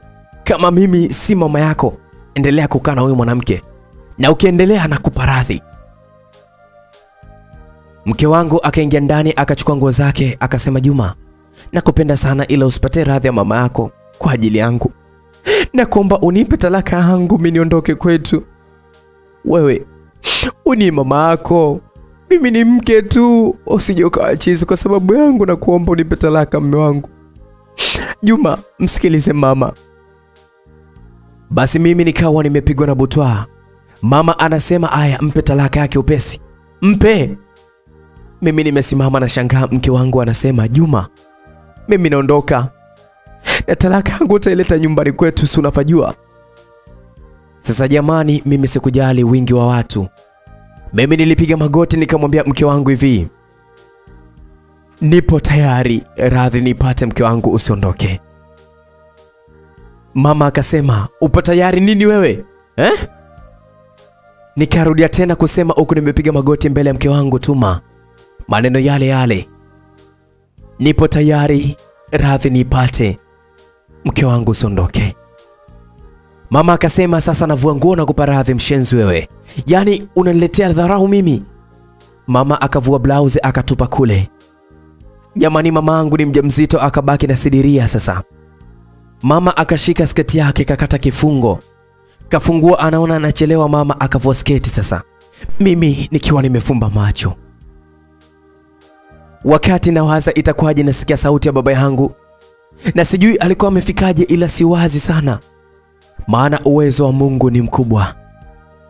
Namsikia baba anasema, we mama Juma, unajidhalilisha. Hakuna radhi kama hiyo kumpata mtoto wewe una madhambi yako unataka leo kuyaficha kwenye kumwachisha mwanangu Juma, umwachishe eti na mke wake? Tabia yako ni yako, na kama unamficha mwanao anakijua hicho kitu, wewe utaki aoe kwa sababu gani? Na kama unajidanganya kusema kwako sitaki, sitaki, sitaki, basi ilitosha wewe kuficha zambi zako. Ulijidanganya, ilibidi useme ukweli, mwanangu, mimi sitaki uoe pale kwa sababu mimi mama yako nipo na E, e, e. Baba akawajamalizia kusema kuwa mama yupo na nani. Alichosema si vizuri kumalizia kwa sababu ni aibu na vitabu vya Mungu vimekataza kusema aibu ya mwenzio. Nasema siwezi sema aibu yako, japo ni aibu haitaweza kukaa milele. Mara namsikia sauti ya mama mkwe anamsema Tuma, yaani anamsema mke wangu mimi. Wewe Tuma, heshima gani hiyo? Eh? Mumeo akupigia magoti mbele za watu. Nani kakufunza hivyo adabu? Hata kama mumeo kakukosea, sio umpigishe magoti hadharani. Kosa lake kukupenda au? Mama mkwe anasema tu ajui sababu ni nini. Mimi nimepiga magoti muda ule. Mama mkwe anaangalia mbele, anamwona mume wake anakuja sasa, akiwa amebeba fagio ya ndani. Anaangalia tena ndio anamuona mama yangu, machozi yanamtoka. Mama mkwe anatetemeka kwa hasira, yani anataka kumvamia mama, na mama mkwe ajui yule ndio mama yangu mzazi. Sasa chizi yule akatokea akaanza kusema, jamani, tulieni kwa dakika tatu niongee maneno yangu, na kama kuna mtu atapinga namuua hapa hapa. Nasema kwa wote, nataka usikivu. Jamani, wote tunamwogopa chizi, tulitulia kimya. Chizi akaanza kusema hivi Yohana 2 15 17, msiipende dunia wala mambo yaliyomo katika dunia. Mtu akipenda dunia, kumpenda Baba hakumo ndani yake. Maana kila kilichomo duniani, yaani tamaa ya mwili, tamaa ya macho na kiburi cha uzima, havitokani na Baba, bali vyatokana na dunia. Na dunia inapita pamoja na tamaa zake, bali yeye afanyaye mapenzi ya Mungu adumu hata milele. Akamwambia mama, wewe unapenda sana dunia, una tamaa ya mwili na unacho kiburi. Nakufunulia sasa, tamaa ya mwili ni wewe kutembea na wanaume za watu, na kiburi ni kukataa mema ya Mungu. Wewe umekataa Juma asioe kwa sababu ya dhambi zako. Alafu unasema utatoa radhi. Wewe una akili kweli timamu? Kweli unaye akili au ubongo wako unafikiria mbali? Unadhani kukaa uchi ndio radhi? Sasa nikwambie, radhi hata maneno ukiyatoa inamfikia mtoto, ila labda kwa yule mtoto aliyekukosea kweli na umejitahidi kumrudisha kwenye mstari imeshindikana, basi hapo una uwezo wa kumpa radhi. Sasa akaniambia mimi, na wewe Juma, sikiliza hii Kumtukana aliyekukosea haibadili historia. Msamaha unabadili historia. Sasa mwambie mke wako aniombe msamaha, maana alinitukana siku ile mlipokuwa mnanisikiliza, akasema mimi ni chizi. Mke wangu na yeye akapiga magoti akamwomba msamaha, maana kweli amekumbuka mwenyewe. Sasa mimi na mke wangu tumepiga magoti, yani mimi moyoni nasema huyu chizi, yani kosa alolifanya mke wangu kumwita chizi, na mimi nilifanya moyoni hivyo hivyo. Chizi akasema, sasa nisikilizeni kwa makini wote, nasema hivi, jifunzeni kwa mengi unayoyasikia, yawe machache yenye busara na mwongozo sahihi wa wapi unatakiwa kwenda. Yaani usipuuze kila kitu, hata kama unaamini anayeongea ni mpuzi, usiapuuze. Lazima kuna la msingi ndani yake ambalo linaweza kuwa ni msaada katika maisha yako ya leo hata kesho. Sasa nadhani mtakuwa mmenielewa, ndio maana mpo kimya. Sasa sikilizeni sasa kwa makini haya. Hekima ni kutofautisha jambo na busara. Kulielewa jambo na maarifa ni kuzingatia. Lakini la pili, nawakumbusha kwenye ulimwengu huu hautawakwepa watu wa aina mbili. Wa kwanza kabisa, watu wa kukujadili, na watu wa pili wa kukuzungumzia. Hata uwe mstaarabu na mkimi wa kiwango cha aina gani, lakini bado hawatokosa cha kukuibulia jipya kila leo. Ila ukiwa mtu wa kutokuzingatia sana wayasemayo, hautaweza yumbishwa na wao, kwani samaki afumbaye mdomo anaswi na ndoano ya mvuvi. Hawakuanzia kwako, walianzia kwa wengine walioweza kuwazoea. Nao lazima wawepo katika dunia hii, watufundishe kuishi na watu wa aina zozote. Hivyo basi, ukimya wako ndio njia sahihi ya kuadabisha wajinga. Wewe kuwa mpole, ghairimu lolote au kuonekana dhaifu duniani, la hasha. Ni mbinu ya busara kwa walio na hekima. Chizi akamaliza na neno, nadhani mmenielewa. Naondoka sasa. Na wewe Juma, historia ya hadithi yako inaenda kufika mwishoni. Nadhani unakumbuka nilikwambia nini? Jamani, niliweza kukumbuka. Aliniambia nisimpe mtu kalamu ninayoandikia hadithi yangu ya maisha. Sasa basi, chizi akaondoka na mama mkwe akamvamia mama mzima mzima, akaanza kumpiga kipigo. Sasa mimi wote wale ni mama zangu, nafanyaje? Nimshike mama mkwe ama nimshike mama yangu mzazi? Nataka kwenda kuamua kugombelezea. Mama sketi imeshuka, sababu alikuwa kashakata kifungo mwenyewe mwanzo kabisa kabla ajaja baba. Mama taiti inaonekana. Basi bahati nzuri mke wangu ndio alimzuia mama yake na baba alimzuia mama. Baba mwenye nyumba akasema tuingieni ndani tukamalize, ili swala sio vizuri kumalizia hapa nje. Yaani bahati nzuri mama mkwe akupigana kama wasichana, yaani angekuwa kama msichana angekuwa anapayuka sana maneno. Yaani utasikia malaya, mshenzi wewe, wewe umenichukulia mume wangu, sijui na mambo ni nini, yaani mambo kibao kibao na matusi juu. Sasa mama mkwe alipigana kiume mpaka wale wapambe wanauliza sasa, kwani chanzo ni ndoa ama kuna nini nyuma ya pazia? Jibu kiukweli hawajapata. Chizi akaja tena kuwafukuza wote, wapambe wakaondoka. Maana Waswahili wasingekubali kabisa, wangechungulia dirishani. Mama alipokuwa ndani alipiga magoti kumwomba msamaha mama mkwe, na akawa anakili kabisa, yaani kwamba yeye ndio mwenye makosa. Baba mkwe ajui kuwa mama na baba washaachana, na yeye anapiga magoti kuomba msamaha, yaani anamwomba baba, anahisi kwamba alikuwa anamwibia. Baba alimwambia muombe msamaha mkeo, mimi huyu alikuwa mzazi mwenzangu tu. Basi alimwomba samahani mkewe. Baba mwenye nyumba aliwaita viongozi wa dini kuja kusoma dua pamoja na maombi ya kumkemea shetani. Kweli dua na maombi yalipita makubwa sana sana sana. Sasa cha ajabu, wale viongozi wa dini walimwita chizi aje atoe nasaha kidogo, alafu yeye ndio amalize kwa dua. Mimi sikushangaa tena kwa chizi kuja kutoa nasaha. Najiuliza chizi huyu nini kimemkuta mpaka amekuwa hivi. Chizi alipoingia akasema, kabla ya dua nataka niwape darasa kidogo. likaimarishe ndoa yenu, hususan Tuma uyasikie maneno haya kwa kina mno. Naanza na darasa fupi, shika haya maneno. Chakula cha mume.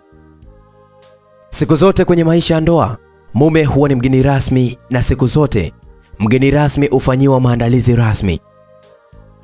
Mke akimzoea mume humwona wa kawaida kabisa, na kamwe huyo mgeni rasmi hutomweka akilini kwake kabisa na kuweza kumfananisha na watu wengine katika nyumba ile, labda akijua au kukaririshwa kuwa mloni mara tatu kwa siku,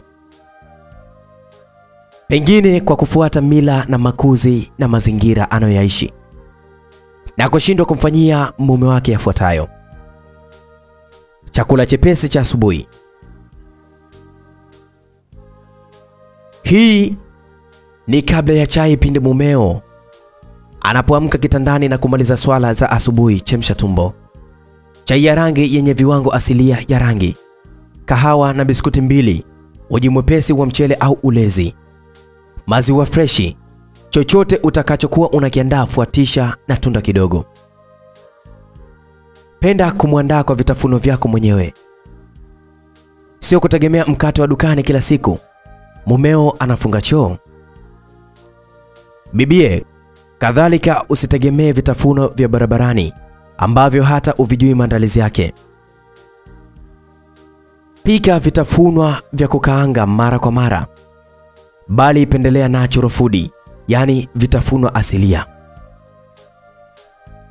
Na pia epuka kumlisha mumeo kiporo, hata kama unapenda. Chakarika apate mbadala wake, na hicho kiwe mara moja, atakipenda zaidi na kama pochi linasoma, muandalie supu ya samaki, nyama au mboga za majani. Chakula baada ya tendo la ndoa. Ewe mwanamama, usimwache mume mkavu baada ya kazi nzito iliyokupitia. Andaa matunda tofauti tofauti ya kuweza kulishana naye baada ya jimai, na kama kuna wasaa yafaa zaidi maziwa na tende ya kuzingatia katika kuandaa chakula cha mume. Chakula kisiwe cha moto sana au baridi sana. Vyombo visiwe na mapengo mapengo. Mnawishe mume na kumtilia maji ya kunywa au juisi. Menya ndizi na kumtolea vinyuzinyuzi vya ndizi au muogo, na kingine chambua miba ya samaki. Sehemu ya kutengea chakula iwe nadhifu na isiwe tafrani ya watoto tu kupitapita huku na kule na makorokoro yamesambaa au kumtengea jikoni, kwani itamfanya akinae chakula hiyo yote kabla ya kunusa harufu. Usilete stori za mauzi wakati wa kula kama alikukera. Hii ni yako Tuma. Sasa nakuja kwa baba yako Tuma. Wewe mzee, sikia nikwambie na mama Tuma, sikieni niwaambie nyinyi nyote somo hili moja. Uislamu hauna utaratibu wa mtu kusema anaye mchumba wake, huu sasa ni mwaka wa tatu. Uchumba wa miaka miwili na ziada ni kupelekea watu hao kufanya zinaa kabla ya ndoa. Na kupata mtoto wa zinaa nje ya ndoa, nikimaanisha umepata mchumba, fanya haraka haraka upeleke upesi posa kwao. Kisha mfanye nika, yaani ndoa. Sio unajinadi tu unaye mchumba wako sijui mwaka wa tano, huo ni you doubt. Allah anasema wala msikaribie zinaa, kwa hakika zinaa ni uchafu na njia mbaya. Suratul Al-Islai 32. Uchumba wa miaka mitano ni wa kitwaghudi kama haeleweki hohehahe kwenye swala la stara, basi tafuta pengine, insha Allah. Allah atuongoze njia nyofu. Basi naona baba mkwe na mama mkwe wamepoa. Chizi anasema sio nyinyi tu kwenye hii dunia, wengi wanakaa uchumba sugu, mnazaa mpaka mtoto anakuja kuolewa, nyinyi bado ampo kwenye ndoa. Unadhani mama utamshauri nini mwanao kuhusiana na swala la ndoa ikiwa wewe haujapata ndoa? Na wasii, fanyeni toba ya kweli, rudini kwa Mwenyezi Mungu. Yaani mimi sasa ndo nikajua kwamba mama mkwe na baba mkwe wote walikuwa hawajaoana, pamoja na mama yangu na baba vilevile vile wote ilikuwa hawajaoana. Nilimwangalia Tuma nikasema kumbe sipo sahihi kabisa, mimi nimechukia zinaa. Sasa basi Chizi akasema mimi nitasoma dua, ila nakuomba mtumishi ufunge na maombi.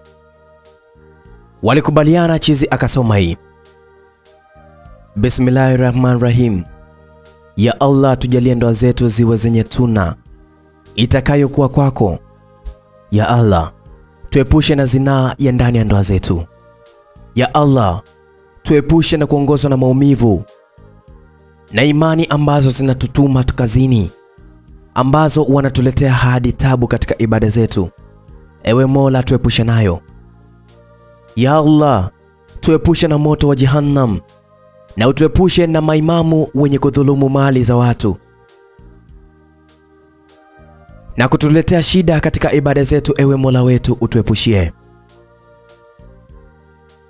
Akamalizia dua ile akasema, msishangae nilipoagusia kwenye dua imamu, nia yangu wao waadilifu, wapo baadhi yao sio waadilifu.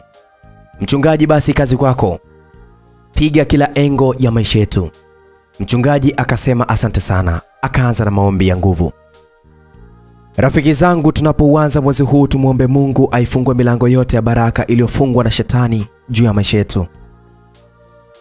Zaburi nne moja inasema, E Mungu wa haki yangu, unitikie niitapo.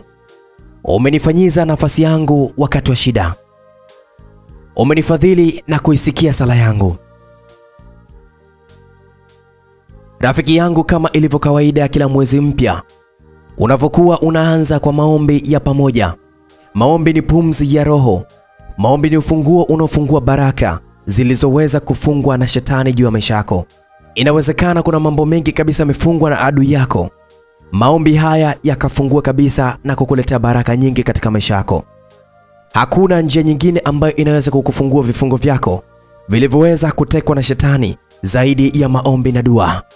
Sasa adui kama alikurudisha nyuma kimaisha, kupitia maombi haya Mungu atakufungua jambo kubwa sana katika maisha yako. Leo atatenda. Mungu ataitikia na kukujibu maombi yako kwa wakati. Dumu katika maombi, maana Mungu anakupenda sana. Tuombe, tuombe, tuombe kwa pamoja. Pamoja na Mungu tuombe. e Mungu Baba mwenye enzi na utukufu, asante kwa uu mwema kwetu. Hata leo hii na kesho yetu waiona. Naomba unibariki na kadri ninavyoomba maombi haya, fungua milango yote ya baraka iliyoweza kufungwa juu yangu. Niokoe e Baba katika mikono ya adui yangu Shetani. Nipe nafasi nyingine kila ninapoishindwa, ili tu kukurudishia vile vitu ambavyo alivyoviteka adui Shetani.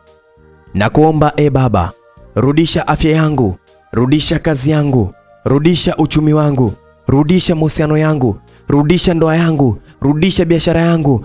Navunja kila maagano, navunja mikakati ya mipango yote ya adui Shetani, na ninatangaza kuanzia leo hii kuwa wewe Kristo Yesu ni mshindi. Kuanzia leo, kwa jina lako familia yangu imebarikiwa, kwa jina lako afya yangu imebarikiwa, kwa jina lako uchumi wangu umebarikiwa, kwa jina lako watoto wangu wamebarikiwa, kwa jina lako biashara yangu imebarikiwa, kwa jina lako kazi yangu imebarikiwa, kwa jina lako huduma yangu imebarikiwa, kwa jina lako ndoa yangu na mahusiano yangu yamebarikiwa, katika jina la Yesu Kristo wa Nazareti aliye hai nimeomba na kuamini, amen. Sasa nashangaa mama yangu kaanguka akaanza kulia kama mtoto mdogo, anagaragara tu. Nilishindwa hata kuelewa ni kwa nini mama anarukaruka. Da, sasa kweli tulichanganyikiwa wote. Kumbe mama alikuwa ana mapepo ndio ambayo yalikuwa anamwendesha katika maisha yake, yaani anajiona yupo sahihi kukataa ndoa na kukubali kuwa ni mtu wa zinaa tu, tena kwa wanaume za watu. Jamani, dua na maombi ni njia sahihi katika maisha yetu. Naona kabisa kama mama yangu angejua mapema kwamba haya yote aliyokuwa anafanya ni aibu, basi yasingelikuwepo katika maisha yake endapo angemgeukia Mungu. Baada ya dakika kama ishirini, mama alikaa sawa, pepo mchafu yule akaondoka. Sasa chizi huaga chizi tu akaniambia maneno haya, hata sijamwelewa maana yake alikuwa anamaanisha nini. Akaniambia huwezi kupanda ngazi huku mikono ikiwa mfukoni, lazima tu utadondoka. Ila ukitaka kupanda ngazi, lazima mikono yako yote miwili ishike ngazi. Maisha ndivyo yalivyo. Ili ufike mbali, lazima ufanye kazi kwa juhudi zote. Usikunje mikono nyuma au kuweka mfukoni na kupoteza muda bure, bali fanya kazi kama mtumwa ili kesho uje uishi kama mfalme. Nikaona sasa masuala ya kuhimizana kazi yanatoka wapi. Mchungaji akamwita chizi kwa jina la Mpendwa, maliza maombi na kuomba. Sasa hapo ndo chizi alinifanya nimkumbuke yule jamaa wa hospitali aliyekuwa anamzungumzia Mariamu. Nilijiuliza Muislamu au Mkristo? Ndio tena anajiuliza huyu chizi ni Muislamu au Mkristo, maana kamaliza hivi maombi yake. Wapenda wangu, duniani kuna mambo mengi sana, yapo ya kufurahisha na yapo ya kuhuzunisha. Katika safari ya msafiri ndani ya maisha, zikiwepo na changamoto nyingi ambazo ni sehemu ya maisha. Mimi nakutia moyo mkuu, tunaweza tukashinda kwa kusimama. Tutasimama tu na maneno ya Bwana tu, japokuwa changamoto hakuna anayezipenda ziweze kumtokea, ila ili maisha yawe na ladha na mafunzo ndani yake, changamoto lazima zitokee ndani ya maisha yetu. Basi ni kama vile chochote ambacho unakihitaji ndani ya moyo wako, basi hauwezi kukipata kwa urahisi. Tujifunze hivi siku zote. Vizuri kuwa navyo lazima uvigharamie. Ili uwe na kitu kizuri na bora, lazima ukilipie gharama tu ambayo italingana na uzuri wa hicho kitu, na kuombea Mungu akukomboe na kukupatia yale yote ambayo unahitaji ndani ya maisha yako, kwani hata neno la Bwana linasema, neno lako ni taa ya miguu yangu na mwanga wa njia zangu. Zaburi 119 mstari wa 105.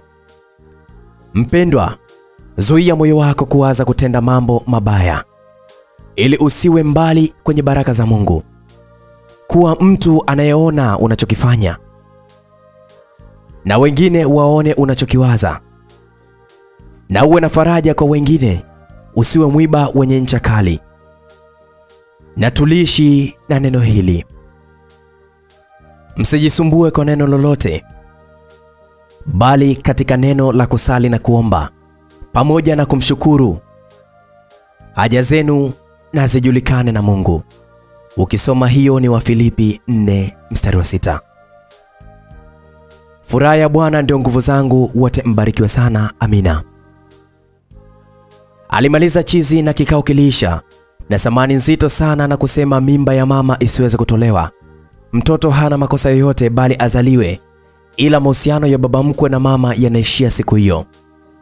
Bahati mzuri, baba mwenye nyumba akatangaza nia ya kumuoa mama. Ilikuwa ni raha kwa mama mkwe, anaona mama anaolewa na baba mwenye nyumba. Na kweli baada ya siku mbele ndo ilifanyika, mama ndio akawa mke wa baba mwenye nyumba. Mimi nilirudi nyumbani kwangu kwa furaha nikiwa pamoja na mke wangu alinipenda sana sana sana. Mama mkwe na baba mkwe walikuwa pamoja kwa upendo ulianza upya. Chizi akawa ni mmoja wa familia yetu, ndiye ambaye alikuwa anatupa maneno ya busara kila leo. Kiukweli tulikuwa na amani iliyoweza kutawala maisha yetu. Mke wangu akajifungua salama na mtoto akaongeza furaha katika maisha yetu, na mama akajifungua salama, mtoto alifichwa nyuma ya pazia kwa ajili ya maadili na alishika dini vizuri mno. Mke wangu akawa ananitania eti kwamba nirudie kauli niliyoweza kuisema siku ile nimepiga magoti. Kweli nilifanya kama anavyopenda. Unajua utani unaongeza sana upendo. Nilipiga magoti nikasema, nipo tayari, radhi niipate mke wangu, siondoke Basi mimi sina la ziada katika simulizi yetu, tumefika tamati. Mwandishi wa simulizi yetu ni yule yule Jogopoli.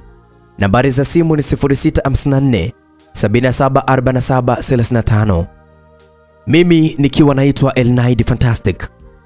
Nambari ya ofisi ni 0677 062012. Basi usikose kusubscribe chaneli zetu ambazo zipo YouTube. Kuna simulizi fupi na simulizi mix, alafu kuna mpya kabisa ambaye ni media yetu inaitwa S Mix Media. Vilevile twende download app inaitwa S Mix app, basi kule utapata huduma yetu kivip kabisa. Asante sana, asante sana na wapenda mno.